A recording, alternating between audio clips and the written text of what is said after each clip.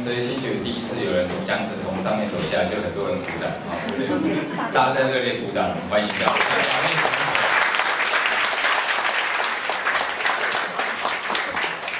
今天比较特别的地方是说，我们请到那个罗福全罗大使来跟我们分享一下他的人生的经历啊。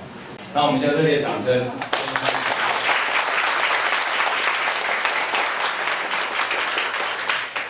我是台台大一九五八年毕业，那个时候要是这种聚会啊，林隆中亮亮的。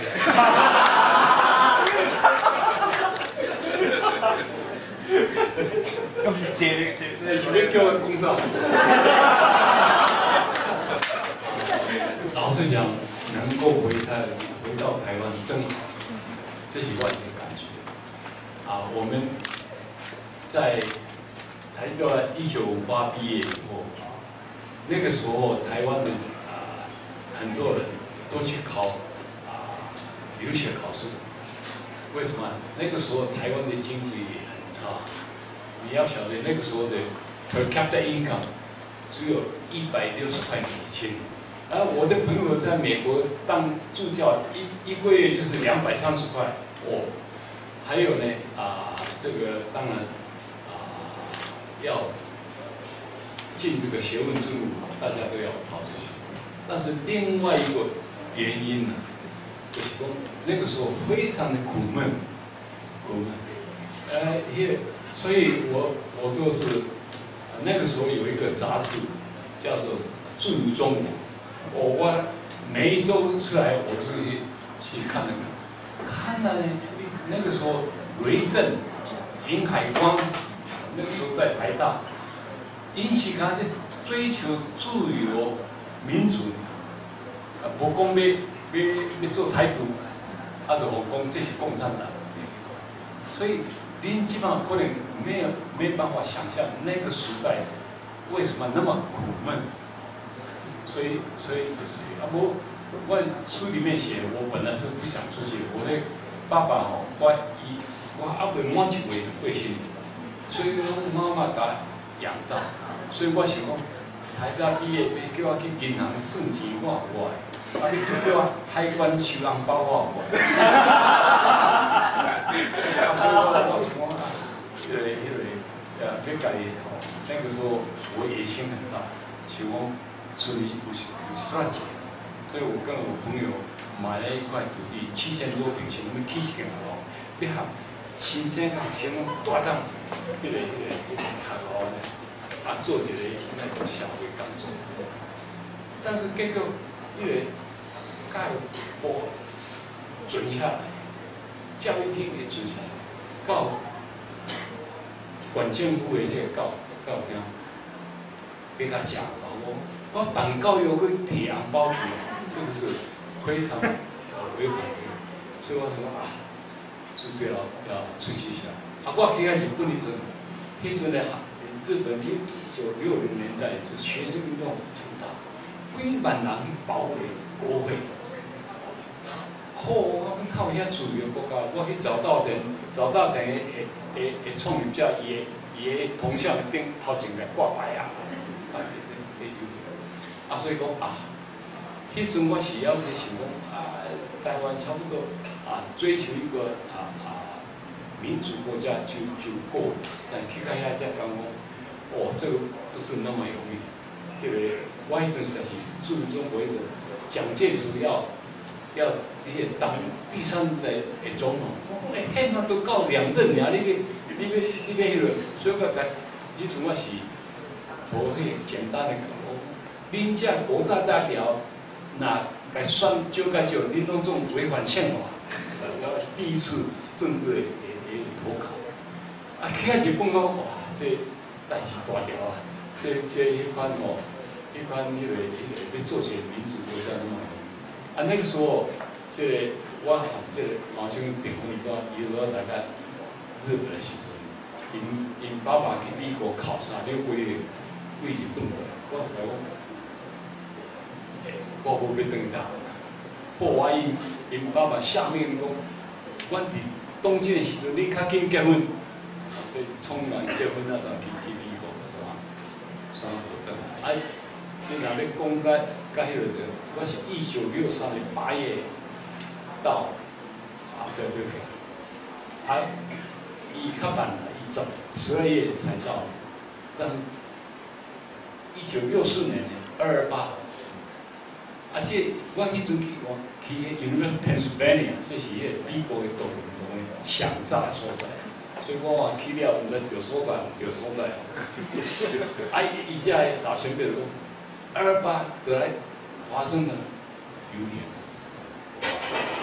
伊喊我，伊只来到来到来遮两三个月了，我也无伫迄个迄个旅游。啊，这吼就是讲，你你啊，伊迄种迄个游行吼，袂是咧出山咧，大家见。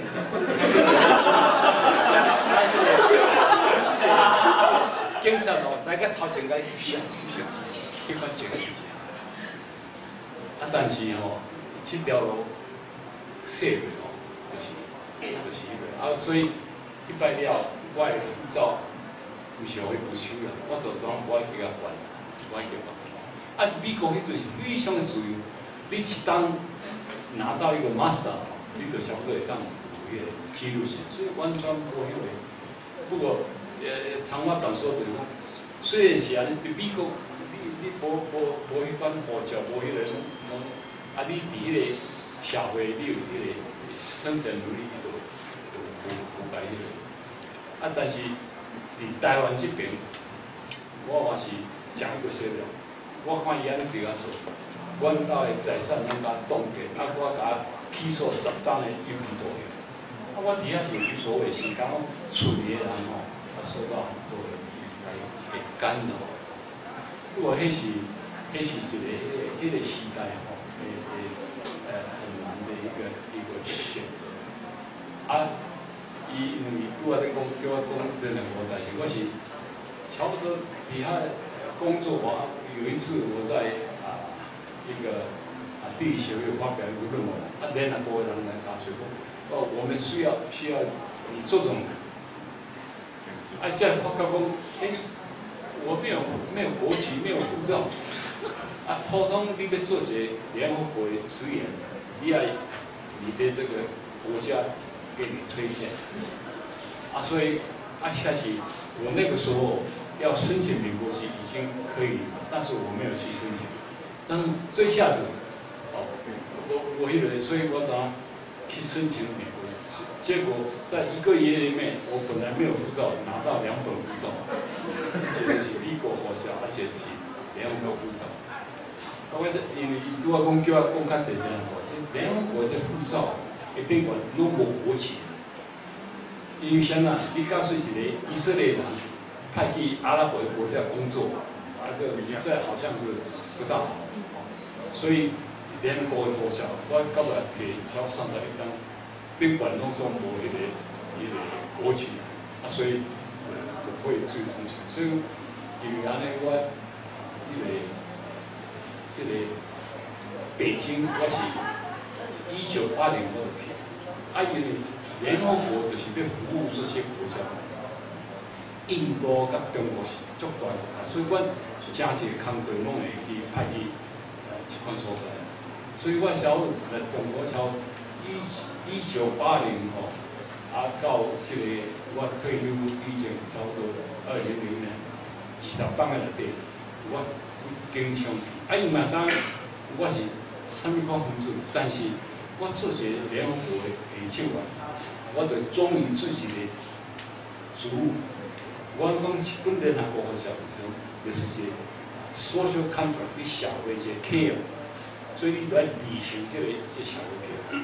啊，当然，我前头仔对中国，我毋捌报讲，炮讲哦，你安你你去死好了，我希望讲中国我会当近代化，这是叫我，所以讲态度的人哦，那是讲迄个迄个啥物，话拢袂记啥物黄帝出啥，无迄款代，迄款的问题毋是。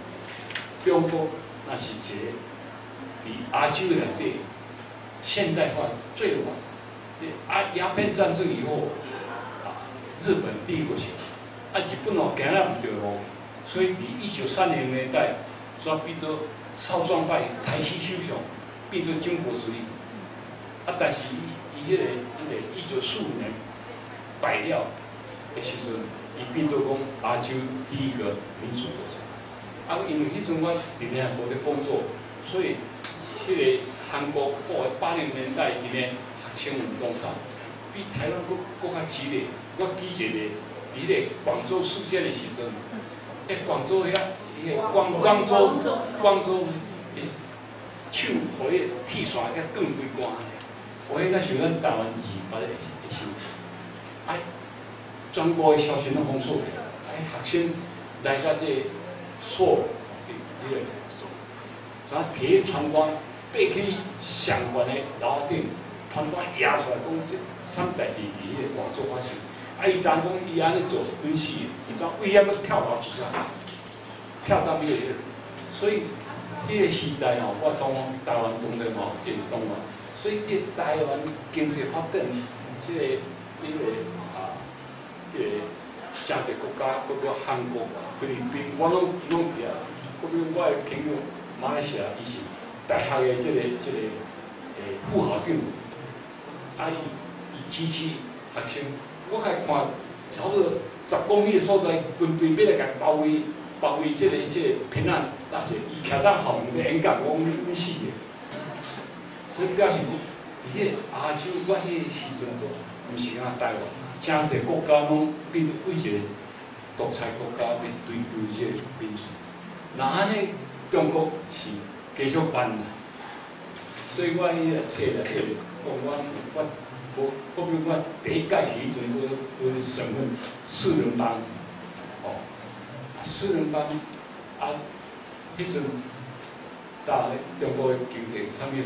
我要去食饭，伊敢毋讲你有粮票，我两分钱的粮票才会当食。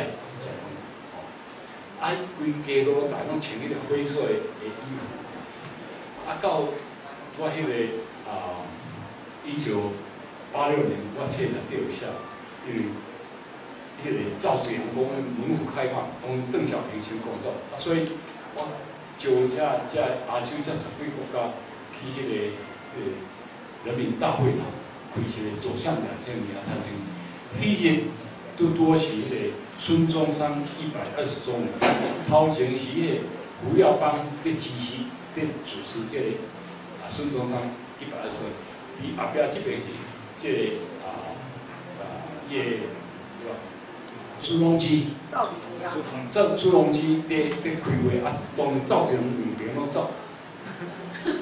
啊，所以迄个时阵，我我听即个即个呃赵水阳讲话吼，诶，我讲真有趣，讲今仔中国要门户开放，希望讲这是伊讲的话，三十当五十当，我会当为外国学到怎么样子诶经济开发，哦，啊，所以恁大家来，我希望讲恁来甲阮中国。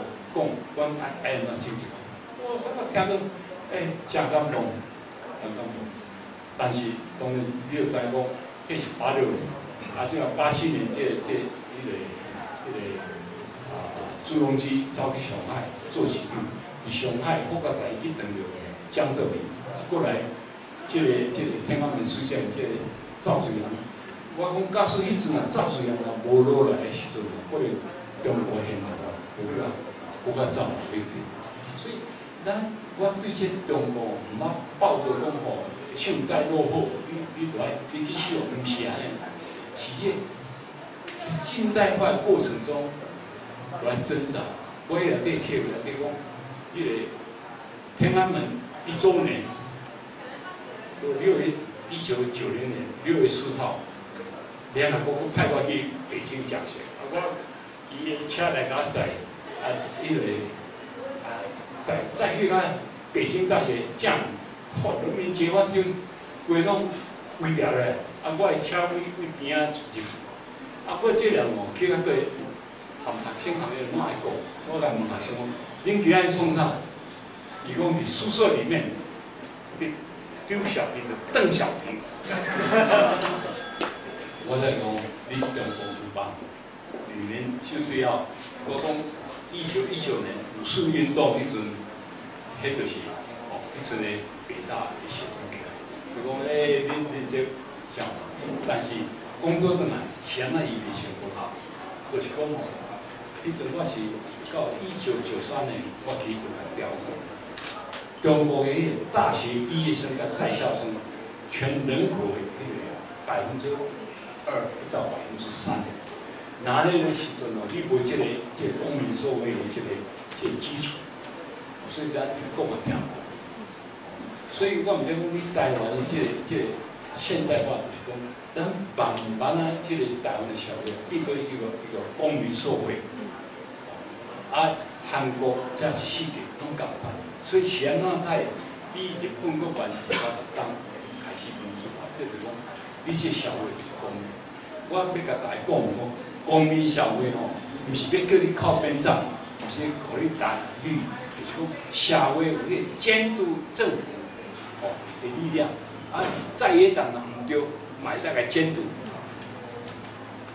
那那台湾国家，我我毋是讲对党感觉足伊伊伊国用伫迄个啊，开个迄个即个迄个姓红的即个迄个迄阵二十二十五万。迄你就是去看到这个台湾的这公民社会的形成，你去做政治界人，你听我去参加民进党吼，也是安尼。但是，其实公民社会毋是叫你去靠边站，是你的。监督。比如美国的。政府就是美国的。这社会非常的。这民主啊，是一个公民社会非常成熟。所以，迄个来讲，共和党啊做了对，我就来叫。股票啊，但是伊当时也嘛做毋到。哎，你你怎中选了，阵报伊高票当选，但是伊若做唔到，其实就好多了。这就是一个民主社会最基本。所以我定定讲，咱今仔日台湾的进步，毋是毋是在讲我迄吼，咱是讲我规个毋是安尼，是规个社会弄做迄个监督，迄个两大政党也好，安尼咧改变。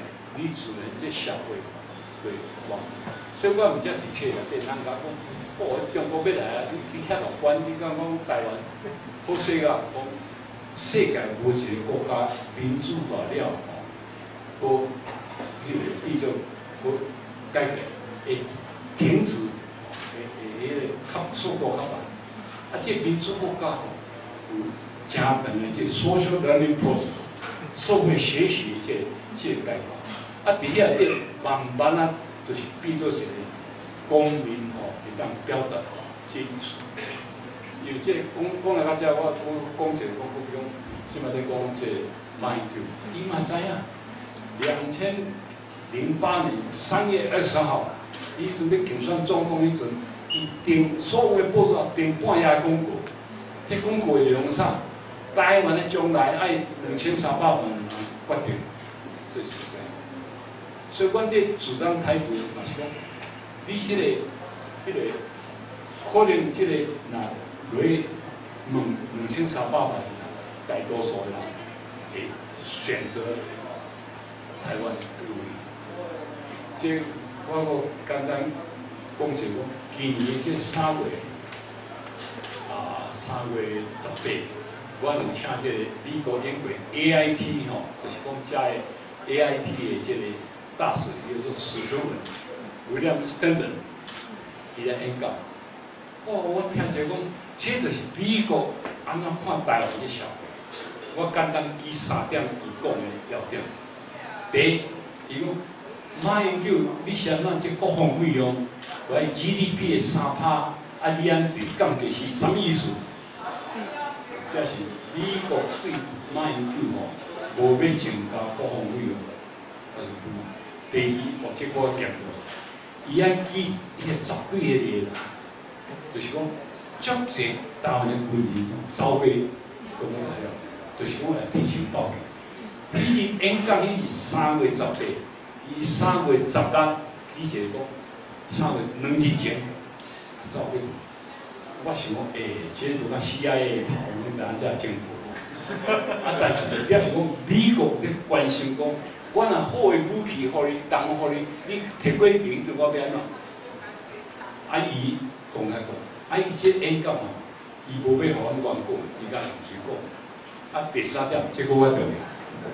伊讲台湾的民调，哦，你若问讲你台湾人爱安怎，差不多八到十趴的人讲维持现状，啊这个维持现状。但是伊佫讲，这维持现状，这个这个项目来提调的时阵，哦，无互你维持现状，这现象变了。六十八趴人要爱台湾独立，美国知影这，啊要挖过中国的吼，无够十趴。所以，迄为迄这这个这个史图文公家讲这个事情吼，我就晓得美国对台湾的观察非常正确，而且台湾人非常聪明，在这个时候，啊，就是要维持两岸的和平。不是要靠不行。那有一天你叫他选择的话，我已经胸有成竹。先，你看从这一点来了解，起码台湾的这个公民社会，所以我绝对绝对是抱着乐观，抱着乐观。我今天实在是不是要讲政治啊？了解了。那今天先先和你休困一下，我们先让那个。既然要转到什么台湾独立的问题哦，我们先让李明勇，呃，李诗人哦，李明勇来，大家热烈掌声一下。为什么请到他呢？我是拜托他夫人苏丽敏哦，哎，所以谢谢热烈掌声，谢谢苏丽敏。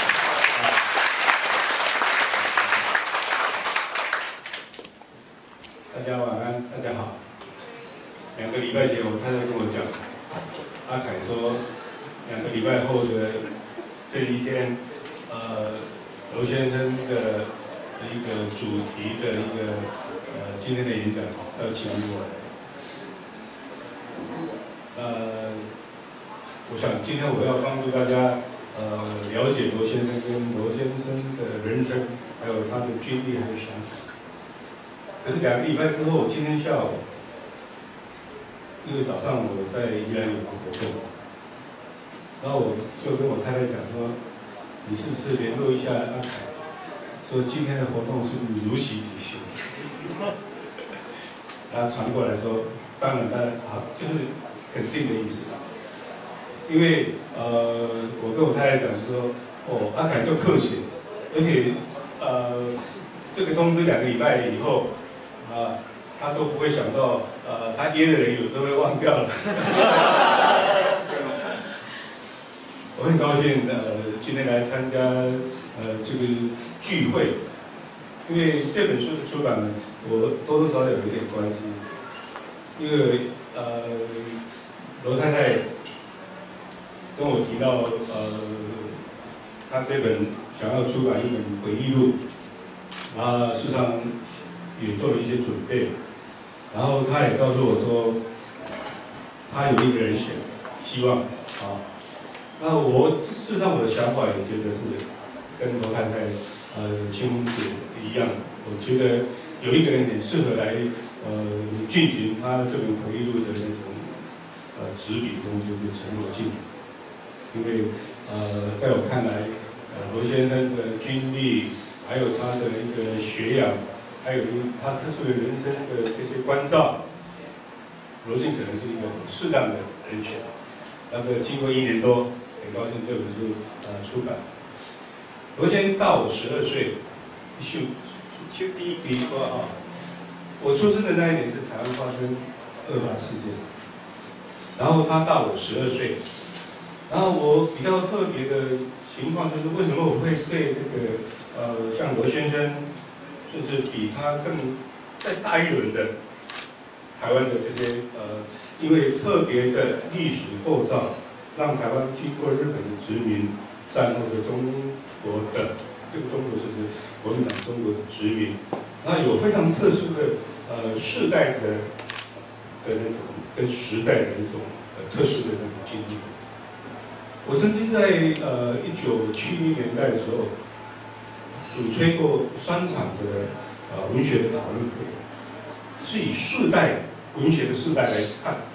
第一个就是大我二十几岁、二十四岁以上，就是他们在战争结束以后，至少大学或是研究所快要毕业。有些比较慢一点，你说像李先生、李登辉先生，他是回到台湾来，在台大读到最后一年，因为日本的学生他不在那有一个时代是，在日本呃统治台湾二次大战结束的时候，他们可能读过小学。可是这些人的人生成长以后，他们的那个呃所谓日本的意味，并不像一九二零年代在日本时代已经完成大学的那些人的那个，一样为什么呢？因为这些人在呃初中以后，可能是在国民党的呃体制里面啊，特别是跟前一个时代有不同，就是他们对中国的文化上的一些关联性，因为教育上的影响。所以你看李先生跟那彭先他们那一代，他们那一代的那个文化的这个这个这个思考，或是就说都是欧洲的哲学、欧洲的文学、欧洲的美术、欧洲的音乐。但是到呃呃罗先生他们这一代，事实上比较跟前一代完全不一样啊，因为前一代他们在大学之前的高等学校五年的时候啊，那个时候你可以看到，现在如果是八十岁左右，如果日本。呃，走过日本时代的那些人来讲，他们跟日本时代的日本人一样，跟欧洲的那个整个文化思维是大概同时的。那我当然是战后时代开始的时候，就是呃，国民党已经占据台湾了，而且我出生的时候已经发生了二八事件，所以我那个三个讨论，第一个讨论是被殖民跟太平洋战争的经验，很多的文学家，哦，包括你看周道正。也当过呃少年兵，像陈天武就去南南洋当过兵。他们被殖民，而且在被殖民的时候去参加日本的呃太平洋战争，然后在战后，他们所有学习的那个所谓语言条件，在战后的那个政治体制里面完全都不能用了，都变成哑巴这一代人。哦，然后第二代人是战争时代有过日本语的啊小学阶段。可是完全在国民党的成长教育底下的一些人，那另外说像我的世代啊，我世代如果没有到一九八零年代的时候，很多我的世代的台湾人根本不知道战后台湾历史的二八事件，这些都不知道，而是在中党爱国反共呃复国的这种所谓虚妄的那个教体下成长，所以我对呃我的文学前辈呃。有些一九二零年代，有些一九三零年代，啊，包括我自己一九四零年代，啊，我们都进行了这些探索。所以从这个角度来，我会很注意台湾的人在经济领域、在呃政治领域、呃在文化领域上的一些呃他的一些特色。今天的这个呃跟罗先生在这里的场合，让我想到呃十二年前。我曾经主推了一次这个李登辉跟彭明敏的一个世纪对谈。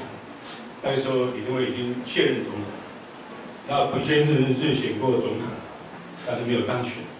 那分别是呃国民党跟呃当时民进党的呃两个，而且两个人的时代性、世代性是一样的。那我就一直鼓励他们，就一直催他们，就说我想要办一个啊。你们两个来跨越两个国度的人士来谈一谈。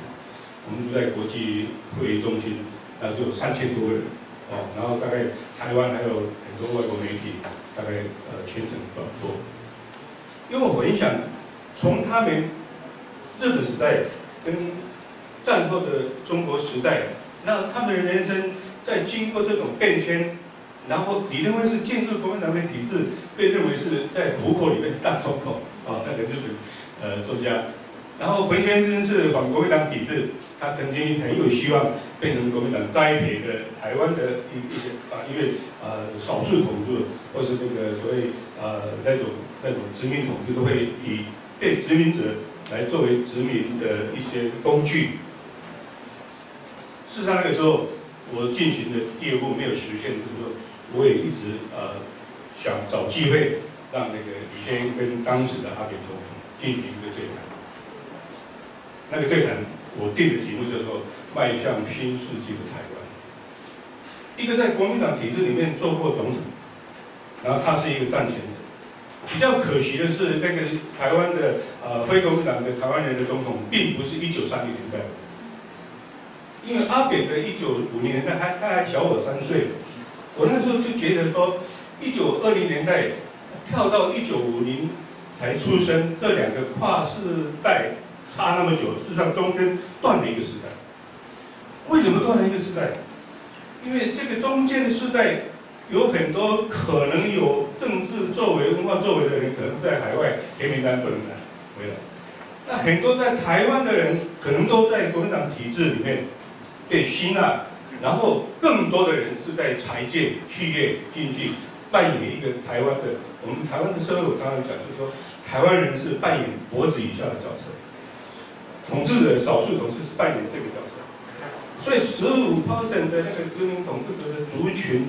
去统治八十五个省的族群，在民主化的选举以后仍然这样，为什么？因为维持我们社会的身体跟那个头脑分离这个概念。这个是我们台湾，我常常觉得说，那天我在参加民进党的执政检讨的文化那个场地，我跟那个邱文良是语谈人。我说，对我来讲，民进党你也许不会觉得你八年的执政文化上是怎么样，你做了很多理论满多，可是我认为这个八年的文化是失败的。因为你过分的符合体制，你只是替一个希望的国家体制去进行它的文化的工作，你并没有去了解到台湾的国家重建跟社会改造需要的这个文化的观念。这个你做了很多的时候，做到到未来一定要做后退板，对但是我觉得是整个是失败的。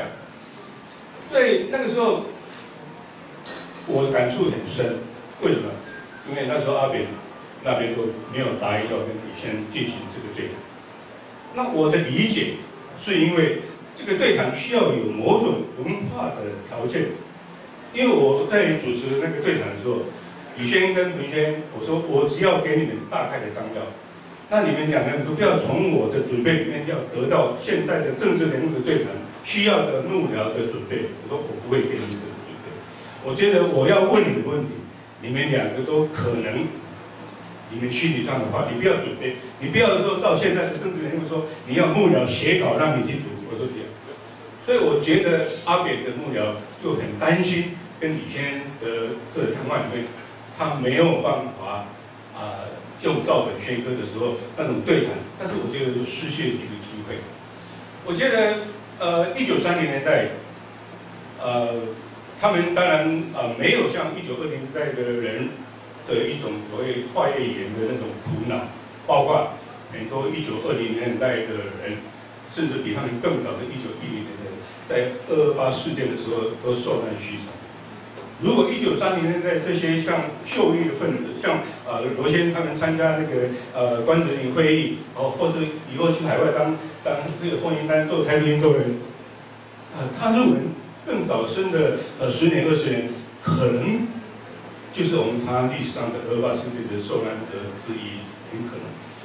哦，我觉得是这样。所以，我们那个等于是断层。这个断层并不是这些人二三零年代的人，像二零年代的很多人都牺牲掉，不是，而是因为在特殊的历史的记忆里面，他们出去出走。另外一个，他们从那个社会领域里面都进入那个所谓经济领域的关联性，包括。很多的啊，医师啊，很多的企业家，这个当然会对社会有贡献。可是我们整个台湾的文化啊，这个领域里面，我们是把文化这一块让给殖民统治者进行他的任意的思维，我们的头脑是给他拿在他的统治者手上的。我们今天来看罗先生的书，我那天在发表会的时候讲，我就有点历史重建。我们台湾人对自己台湾人的典范，我们都不知道。我想罗先珠不是后来在驻日代表的任内，或是后来回到台湾，他有很长的时间，曾经以一个台湾人的身份在联合国的机构里面做事，对台湾周边的东亚、南亚，还有中东很多国家的经济发展，有过关注、有过介入、有过参与、有过贡献。然后当时他们是从开始在发展，然后我们是有一个呃发展的比他们在一罗先在联合国呃的机构任职的时候，台湾那个时候的在在联冷战的体系，美国的那个机构官员在那个经济体系，台湾的经济是比那些国家还好。可是我们现在看看，罗先在一九九零年代离开联合国职位，到二零零零，慢慢我们可以看到，我们跟刚刚在提到那些。呃，联合国在关注的这些开发国家，慢慢的变成开发国家，我们刚好是一种从上坡走下来，啊，他们是，往往跟我们刚好是一种啊，经过那个交叉线，他们是在成长。那这种观念的差别是在哪里？我觉得台湾人是很很有那个所谓和经济发展的基础条件、知识、劳动力，还有人民的情味，都比他们更高。最重要的差异，我觉得就是国家是不是真实存在。那因为不是真实存在，所以很多的统治者欺骗我们，它是一个存在的国家。那我们也要啊，因为要呃相信啊他所说的说法，我们也很多人也要骗自己嘛。那因为这样，大大家又不真正的一个安心，所以我们可以看到，我们本来可以发展更好的经济，可是我们发展的经济并不全部把发展的成果存留在台湾，这是一个。第二个，因为我们没有正常国家条件，我们现在显现跟啊，像印度啊、印尼，还有马来西亚，甚至泰国啊，甚至呃中国，甚至那个现在的韩国、伊朗，当然是中东有另外一个问题。我觉得我们刚好跟他相对，国家当然是很重要，国家有危险性不错，可是国家也很重要。哦，我觉得我们现在面临到这个这个问题啊，那我们很多人。像那个罗先生他们呃在呃国际上在世界上，所以我有时候很很想去呃从那个罗轩啊，他是一个台独呃运动者，可是他在那个呃经济领域的或者联合国的机构的经济参与世界参与这个角色这个分量，相对比他在台独运动里面让我们知道的这个部分来讲更强。哦，我们现在常常知道台独运动者在美国、在日本、在欧洲，特别是日本跟美国，都是很多大概是呃美国或者日本的大概呃主席的位置。哦，他的参与者，因为我知道，呃，罗先他本身在联合国事务，然后所以他的经济这方面的那个、那个、那个这个这个参与，我觉得，也许等一下我们可以呃，也许我很想各位也许可以。就是说，当时这个罗先在联合机构，然后你在呃东亚、南亚或是中东这些国家，甚至包括中国，然后对他们的经济成长，呃，以联合国的一个呃机构的呃呃的那个身份里面，当然要看着他们成长。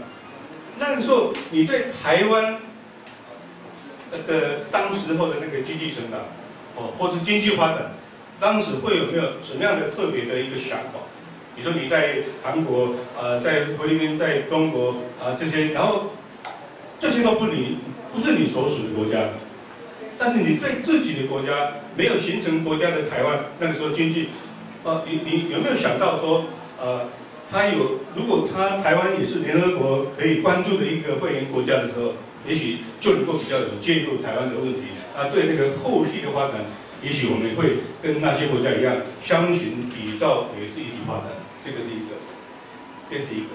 第二个是我很想呃也知道，就是说，我先在呃台独运动、政治运动、独立运动这个角色，我觉得呃他当然也提到那个光州事件哦，提到因为近代的呃国家的发展哦，从第一世界、第二世界、第三世界，因为国家发展的经济跟文化、意识形态跟利益形态，事实上。那个政治是那个共同体的那个那个发展都有很多非常复杂的，啊，非常复杂的课题，啊，啊，这个课题有一些是经济的，有一些文化的。那解决经济跟文化的问题，但是政治的作为，哦，然后作为台独运动者，对，因为呃，台湾一直没有办法解决这个国家的问题，然后。我们当然在呃现实上有看起来呃劣势或是迷失一个国家的状态在运作，哦，因为因为这个是一个一个呃国家并不像一个一个一个公司，你如果没有正常化，你根本没有办法运作，因为你需要有上面包括税啊，包括那个整个所属管理，你都要有一个一个作为。然后国家没有，国家有一种，比如说你虽然很高有联合国，但是如果你不是联合国会员国的话，你不是一个国家，你也没有一个，即使没有一个比国家更高的一个对这个国家的宰制的法条件。哦，它只是有一些危险，有一些什么没有办法要求你一定要确立你成为一个国家。哦，所以呃，我觉得呃，独立运动。对的运动者进行到这个阶段以后，那台湾在发展到像二十世纪、二十一世纪也总统民选，可是没有解决台湾的国家的属性或是真实虚构的这个问题。我觉得作为一个台独运动的参与者，呃，你持续的在台湾要形成一个国家，哦，我们也知道，比如说罗先也提到啊，他也希望中国能够发展，能够更文明。哦，因为中国的发展跟台湾的独立，呃，并不是一个相悖的事情。哦，那我从这个角度来讲，我也很想要听到罗轩，啊，台湾也很关注经济问题。那从这个角度来看，那个台湾独立运动，呃的一个一个国家的条件这个问题，呃，罗轩有没有继续的那种呃深比较一种呃呃思考？或是觉得应该提出来跟我们大家分享的一个对台湾要朝向一个正常国家建构的那种关照或者期望，我觉得我们先用这两个角度来来来听一下那个罗先生跟我们分享的他的意见。好，谢谢大家。这么快那个工期就来了，联合国都还没有讲完啊，还有什么京都议定书啊，大家可以去看，就是说。呃，在我们讲的过程里面，我们提到说，呃，罗先生在联合国做了很多事情。第一个是参与东亚的经济的开的发展，因为他曾经是联合国区域开发中心的主任嘛，所以他就被联合国派驻到不同的国家去，然后去看他们每个国家的，而且他是每个国家在经济发展很重要的国家的的经济顾问。所以在他这个过程里面，同时同时，他除了刚刚讲说，他有曾经到也也因为这样，所以他可以到中国去。虽然他是一个台独分子，但是还有一个部分是，呃，对于呃参与所谓的京都议定书。所以京都议定书就是当时在谈什么空气啦、环境啊的问题的时候，他也参与那个起草的过程。所以他在做一个台湾人，其实他在这个世界上扮演非常重要的角色。可是他这个角色呢，却因为他一个台独分子的身份而没办法贡献给他的国家，甚至才变成黑名单，甚至是财产被没收，甚至在长期的时候，还要跟他的家人分隔两地，甚至母亲奔丧的时候，他还要只能写一段心经，请家人把它烧，烧给他的那个母亲。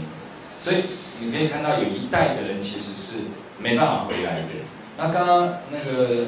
呃，李明勇先生他刚刚讲的另外一个就是一个有一个前瞻性的部分，就是说，呃，这两个问题啊，等一下我们再请说，呃，是一个假设性的问题了，就是在回过头来这本书里面没有提到的，就是他当时怎么去看台湾的经济，如果是他的介入的话，也可以成为台湾的经济顾问的时候，现在台湾会不会这么依赖中国？对，会不会有这样的情形？或者是在第二个阶段的时候，是说面临他的第二个身份是一个台台独的海外台独大佬这样的一个身份的时候，去看待这个台独运动。比如说现在已经很多人讲台独是一个没有市场的，不过他应该来这里看一看，对不对？可是我们就会被打成一小撮人，对不对？怎么样都有话讲。那怎么样去看那个台湾做一个正常化国家，一个独立的国家？呃，怎么下一步要该怎么走？啊，当然他已经提出了一个观点，是台湾有很蓬勃的公民社会，甚至他刚才也讲到说，马英九应该也是台独分子才对，因为呃两千三百万台湾前途有两千三百万人决定，这个其实 point 这个就已经说明说，是所有台独分子的主张嘛。那在广义上面，其实很多人都是台独分子，他是可以被分享的。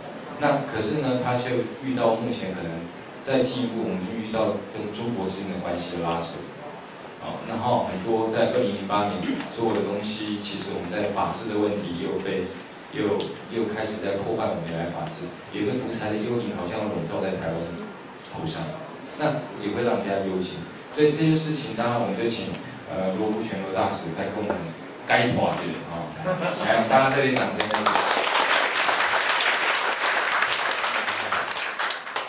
非常谢谢这个啊，这个李明李明勇。他是从这个历史角度来看啊，台湾现在面临问题，啊，比方我们这一代，总统这一代，怎么样子走过那段路程，是不是？但是呢，啊，我提倡要讲就是这个啊，陈罗健啊，他访问我说，哦，一天到晚我说到那里。到巴黎去吃什么东西？到这个样子，以为我都不在做事情，所以我就请他这个书的最后面把我的著作啊列出来，人家才会说，哎，不是刚才在讲讲，我们做在起来。但我很难做真理，我的啊，我太太她电脑一开，哦。我那些十几本书，在全世界四千七百零九个图书馆有我的书，啊，所以我就是讲，哎，不是刚才讲你讲的信徒。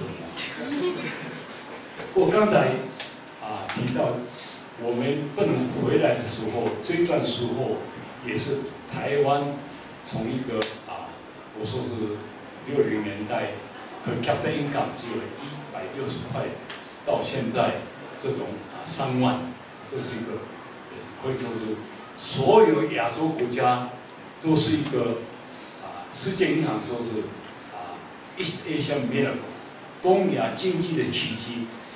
这五十年东亚发生的事情，在全世界都没有发生过。好比啊南美有时候很高，但是又掉下来，都是这样储蓄，而且这个储蓄作用呢，这个。社会、政治、经济的结构改变，变成一个现代。所以这个哦，东亚的这个，我非常幸运。那个时候，我刚好拿着这个联合国护照啊，到处。那个时候，我还补充一点，就是我在那里碰到的人，跟我一样，从美国留学要回到韩国，回到马来西亚，希望他能够贡献。这些国家，哦，所以我碰到那个家中喜欢波亚迪亚啊，哦，所以这个也是我虽然没有回来，但是跟这些人有有一种这个啊这种关系。不过呢，他刚才也提到说啊，我在这个联合国里面也做这个永续发展。其实这个呢，因为大家都晓得。一九九零年代，在这个啊巴西，说是啊人类最大挑战就是永续发展，是不是我们的一个挑战？那个时候啊，要是讲详细一点，这个我跟欧洲这些 OECD 这些都都有合作。那 OECD 那个负责这个这方面是荷兰的一个啊啊环境部长，他说啊。我们这个 OECD 国家只有世界人口的百分之十四，结果我们用世界资源的百分之七十，实际上是不对的，而且排放量你也是百分之七十，所以他就告诉我，好，我来做，他们要做这个 OECD，叫我做大国家，就是中国、印度、巴西、苏联。跟这个印尼的话，那这五个国家跟 OECD 加起来就是全世界环境问题的百分之九十三左右，所以我就是选第一个来做中国。在这里不用讲太多，就是给你讲一个结论。那个时候经济，中国经济已经，我在第一次做这个问题的时候，已经九三年，然后九七年也完成这个报告。最简单。中国经济发展三个特征：登高多，登高价，登高棒，经济成长率百分之十，但是中国是一个没有资源的国家，所以他要拼命输入这个啊资源，好比讲这个啊啊江呃江浙不是呃胡锦涛是马拉喀什嘛，就是中国石油百分之九十要通过这个马拉马六甲海峡。那我告诉你，在十年，中国进口的石油三亿吨，世界石油的一半。你看这个这个问题大不大？所有是，那日本也是资源是啊输入国家，所以这两个亚洲的大国家都是靠输入的这个这个资源，登高榜提供排放这个 CO2，排放污水。排放，所以我就看准这一点，所以我九三年到中国去做中国永续发展研究。大家大概就晓得，我第一次从上海飞到北京的时候，作为官啊，propeller 这个我知道，螺旋螺旋桨飞机就对很低。哎，我一看，我看到。泰山，我以前都没有看过泰山。哎，看这又黄河，黄河笑。我小时候念这个赛珍珠的这个啊啊啊，大地 Good Earth。后来一个加拿大的人写了一个 Bad Earth，坏蛋，因为你你这样仔细给我别绑啊。我看了一阵，我感觉这英文是文明二受伤的大地。所以中国经济起来，就是因中国大陆变强。所以我今今日无咧讲这，来讲一个结论，我来算讲，你对环境的破坏有多大？就是讲你成长百分之十的时候，你也空气污染，啊也砍这个啊森林，排放这个污水，最后的 green GDP，绿色的 GDP，这是联合国。制定怎么样的推算？我自己一个人不能做，我叫他去做是日，啊，算这个日本 Green GDP 的这个扩展，去指导七个中国的研究所，北京大学的光华学院、中国经济研究所，就是林毅夫那边的，还有几个，叫他们怎样算，算出来，中国环境的破坏是。八点九，那你从百分之十减了八点九，你真正的成长就有一点一。这个我是第一个算这个，所以关系核心呢，我也中国三公里面这样子开发，是不是有永续发展？所以，那刚才他提到了，在在九七年在京都大学，呃呃京都的。一个一个啊，世界这个环境会议，就是第一次这些啊，第三世界说，你们这个先进国家啊，百分之十四的人口用到我们地球的百分之啊啊七十的资源，还排放百分之七十，哦，所以要求美国这些国家要 cut down CO2 回到一九九零年，那个时候我拿去那个会啊。做联合国大学的研究，就是中国这个这个报告书，所以后来他呃陈多进写的，你们有有没有参加这个？对，我是呃参加，但是这个联合国这种事情，是我们联合国所有的机构都跑到那里说我们做什么做什么，然后呢，这个日本跟这个啊啊政府代表把这个综合起来，拿到这个。所有会员国来啊，是不是我们接受的？之后呢？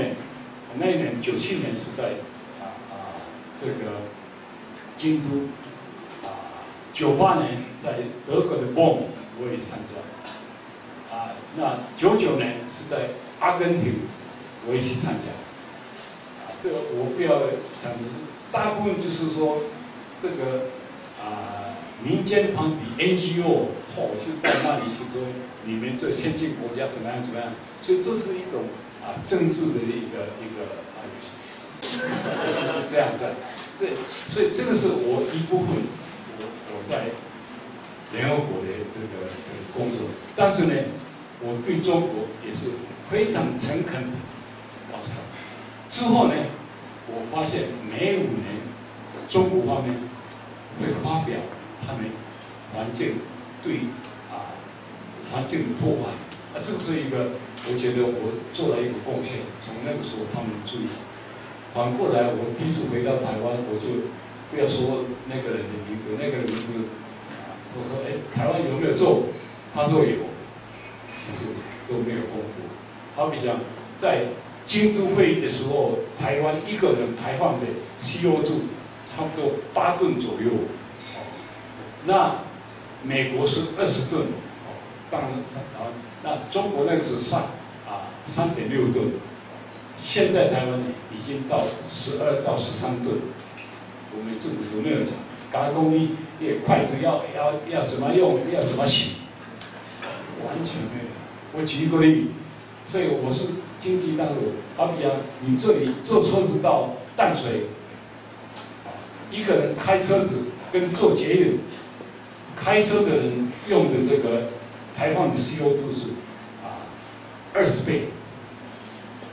对这个这个，我就简单报告说，哎，我在联合国做这个环境问题，但是是我对中国、印度。我就感慨，因为这些人口这么多的国家，啊，他就讲，我说是中国现在，你晓得中国现在有两百万人在非洲干什么？想争取非洲的资源，争取这个这个啊啊，好比讲这个苏丹这个国家，他卖石油给中国就不用付钱，为什么？他就把武器拿到苏丹。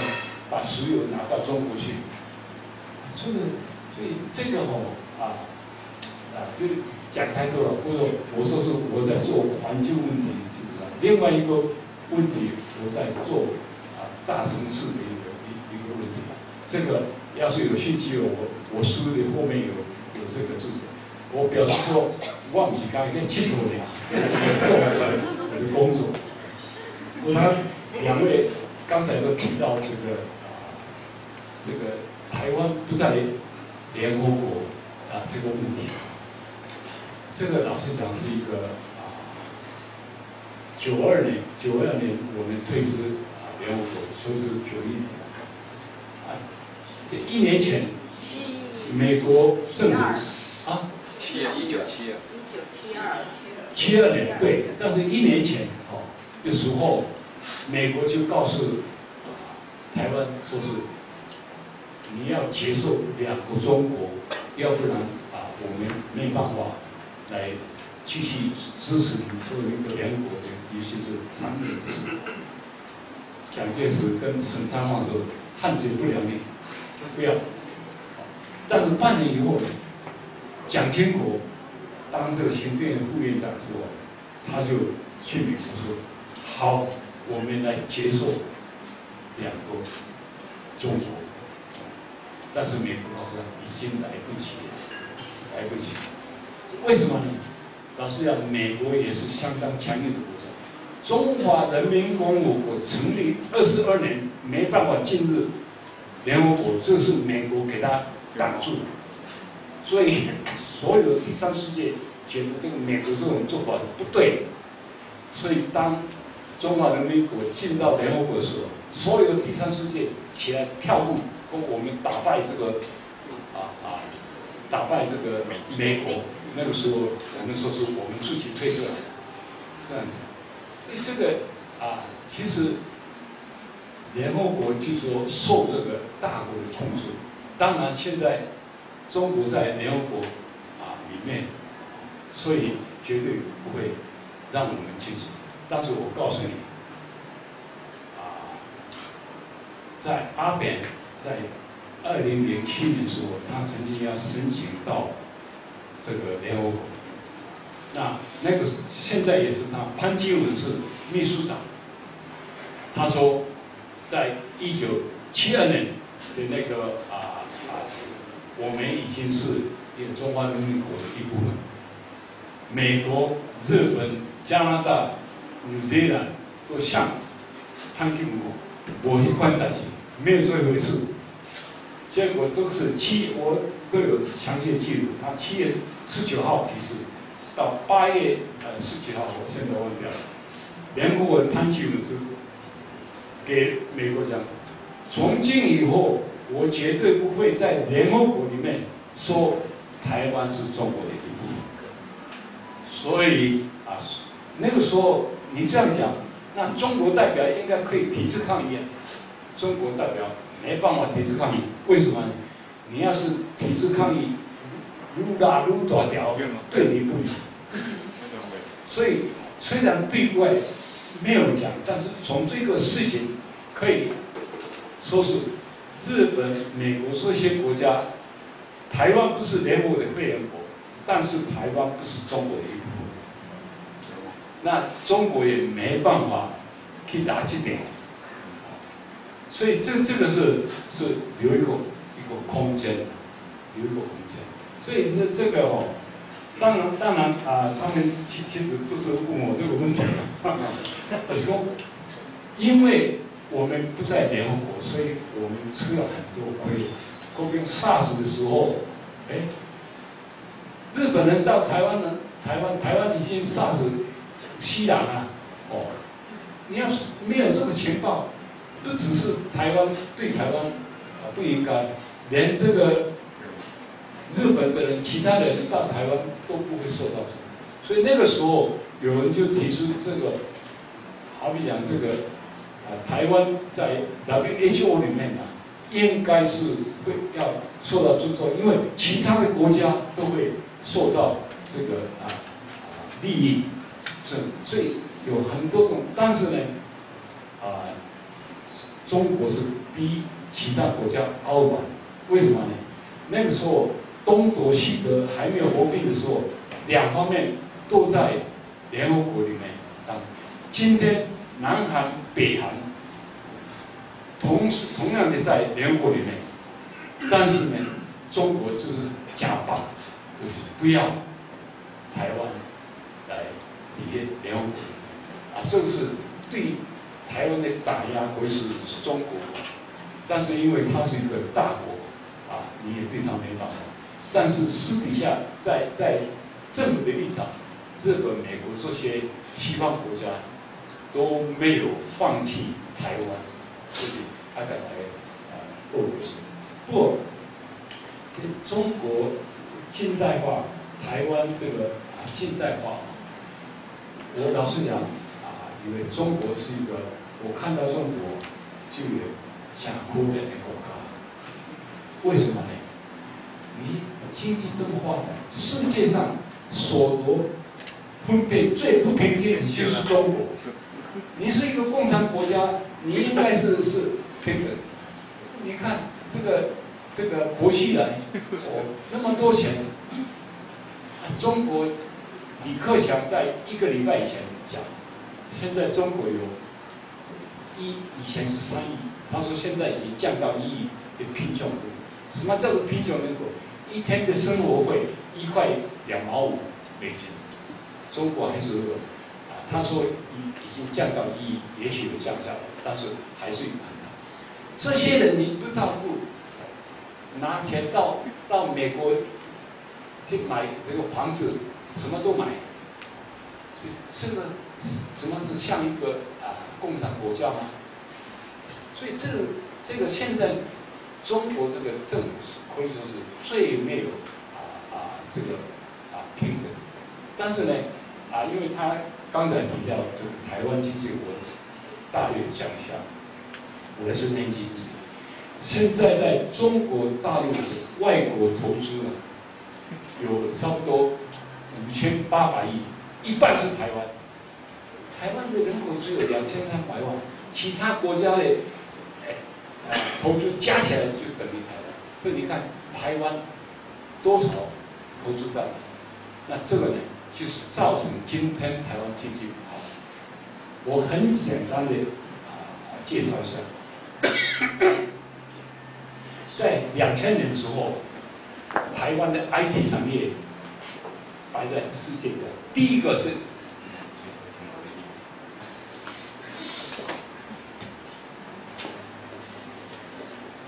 第一个，美国 IT 产业最大，两千年。第二个是这个，台湾只有两千三百万，既然是台湾的 IT 世界第三位，那这十几年来，台湾百分之七十的这个 IT 产业移到中国。移到中国什么样？高科技拿去了。好比讲，我不要骂其他人，就先讲联电那个时候，把两两百多个这个知识财产权啊，就无条件拿到这个这个中国去，就牺牲台湾的这个啊啊。好，一家这样子，所以这个这些好的技术、好的人才。在那边，那个啊，那个郭台铭那个叫什么公司？红海。红海就是采用八十万的就业。你这样一去，台湾的大学生有没有好的工作？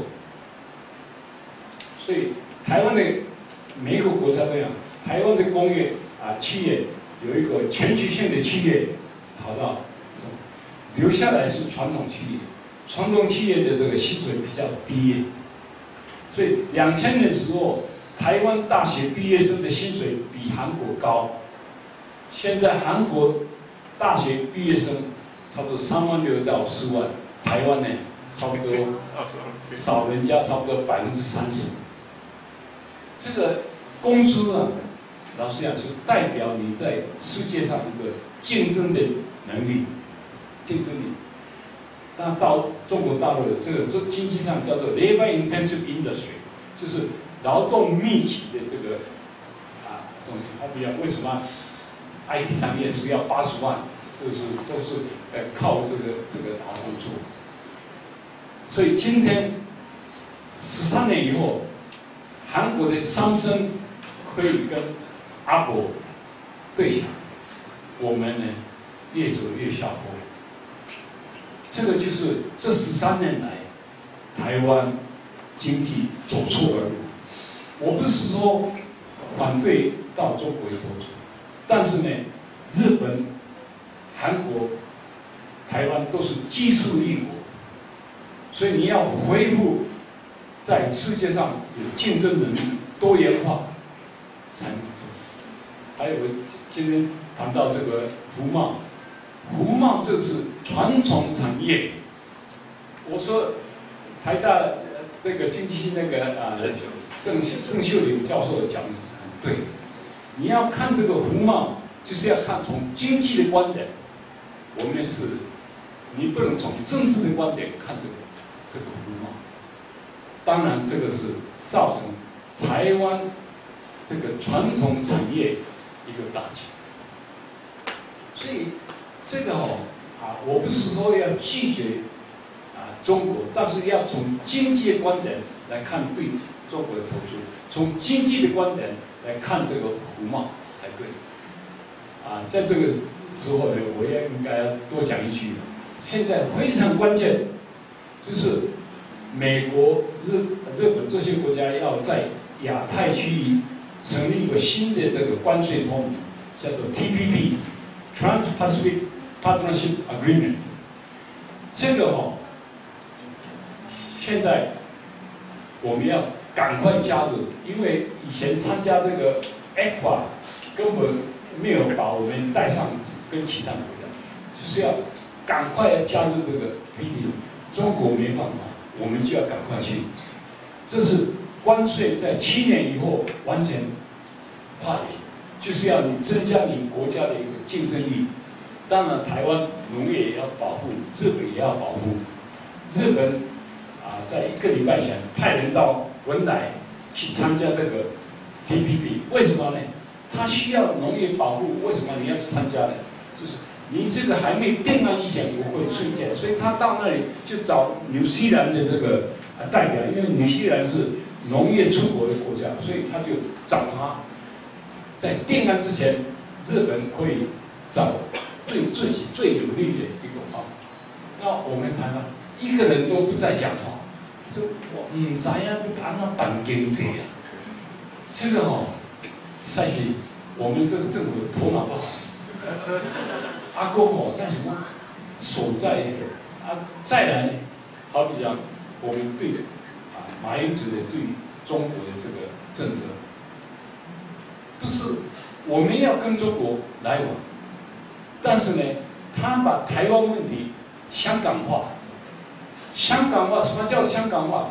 香港是地方政府，北京是中央政府，那你地方政府讲的话。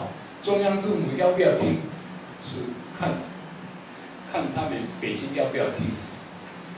所以，民进党还是应该跟北京和平来往、贸易，但是呢，最重要就是要对等的立场来讲这个问题。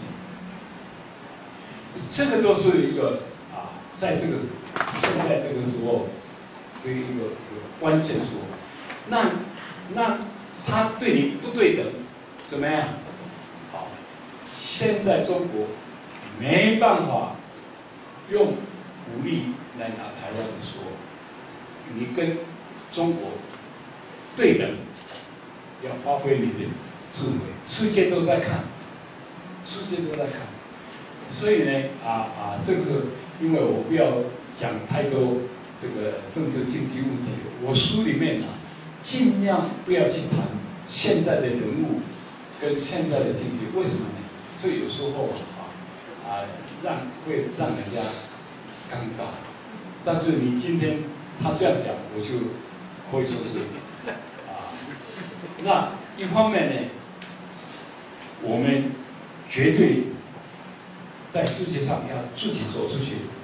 这个是啊，那个时候我跟啊。因为陈水扁现在被关了，所以我我讲了也没关系了。关本来一直改工？我们我在联合国工作那么久，台湾什么样子可以进联合国？我做了一个啊意见，意见。为什么呢？联合国在一九八七年通过一个一个啊决案，就是先进国家要拿。国家的 GDP 的零点七八来贡献啊啊啊其他的国家，大家都没有做到，只有荷兰跟北欧四个国家做到，美国大概是零点二四，啊日本也是零点三二。那时候我说我们不是联合国的国，但是我们在亚洲已经是一个先进国家，我们拿出零点七八 GDP。来贡献亚洲国家。以前我们有人工人工队，我们的医疗，我们有什么大？你这样做的话呢？人家说这个国家在扮演这样重要的角色，他为什么不是联合国的一个会员国？这是我那个时候的一个一个意见。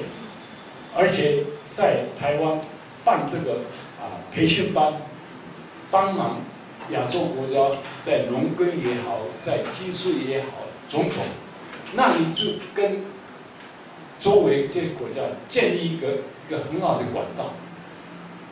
瑞士这个国家贡献世界那么多，它有长期的时间不是联合国的会员国，但是受到世界尊重，所以台湾应该出来做做贡献。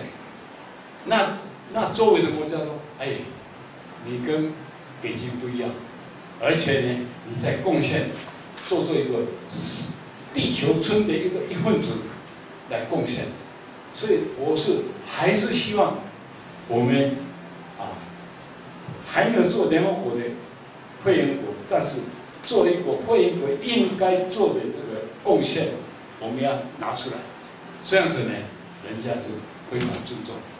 你虽然还不晓得什么时候，但是呢，将来。我是非常乐观。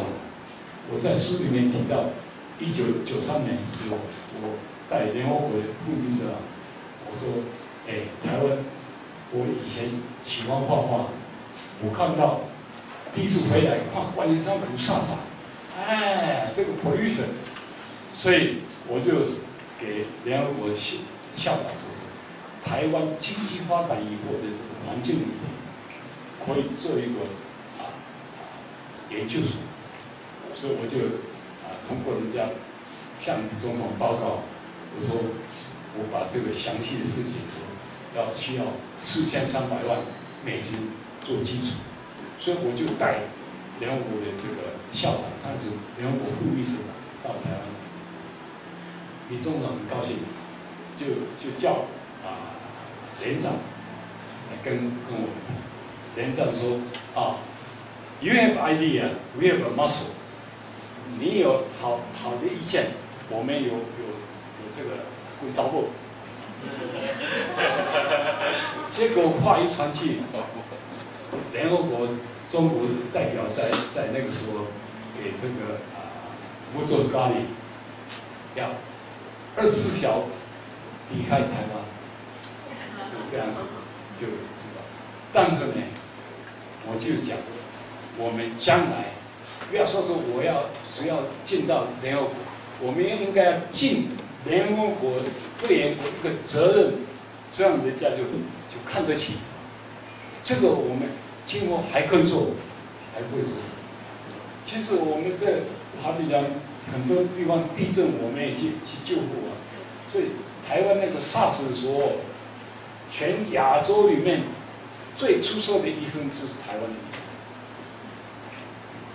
所以这这个东西哦，我们不应该闭关。所以我说，投资我们也往世界做。那这些啊，先进国家应该尽的责任，我们在做。那我们。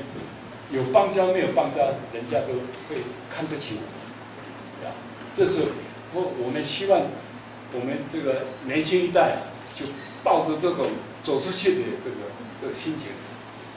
呃，因为我有时候讲话，我现在脑筋哦，啊啊，capacity 很有限，所以干扰他们这个啊，这台湾的将来，我觉得我是抱着乐观。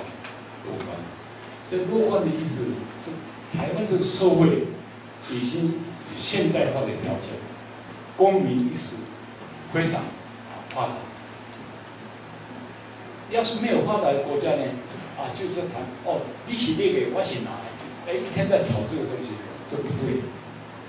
这个公民意识，美国的公民社会对民主党、对共和党一样的。给他们纠正。那日本呢，还比美国差一点。为什么？差一点的国家就是要看啊政治领袖的的的这个意见，这个不对。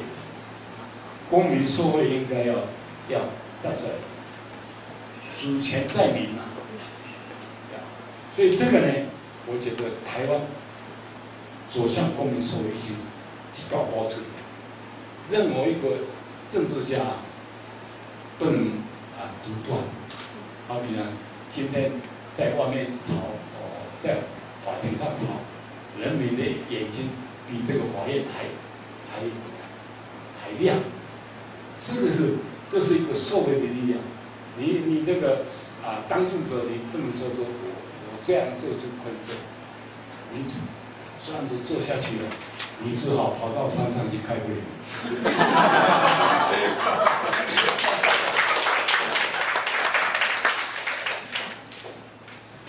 不过啊，我刚才自己这里写了一点，就是说啊，其实我是不大喜欢批评一个一个总统一个政府，但是马英九的这个对中国的政策，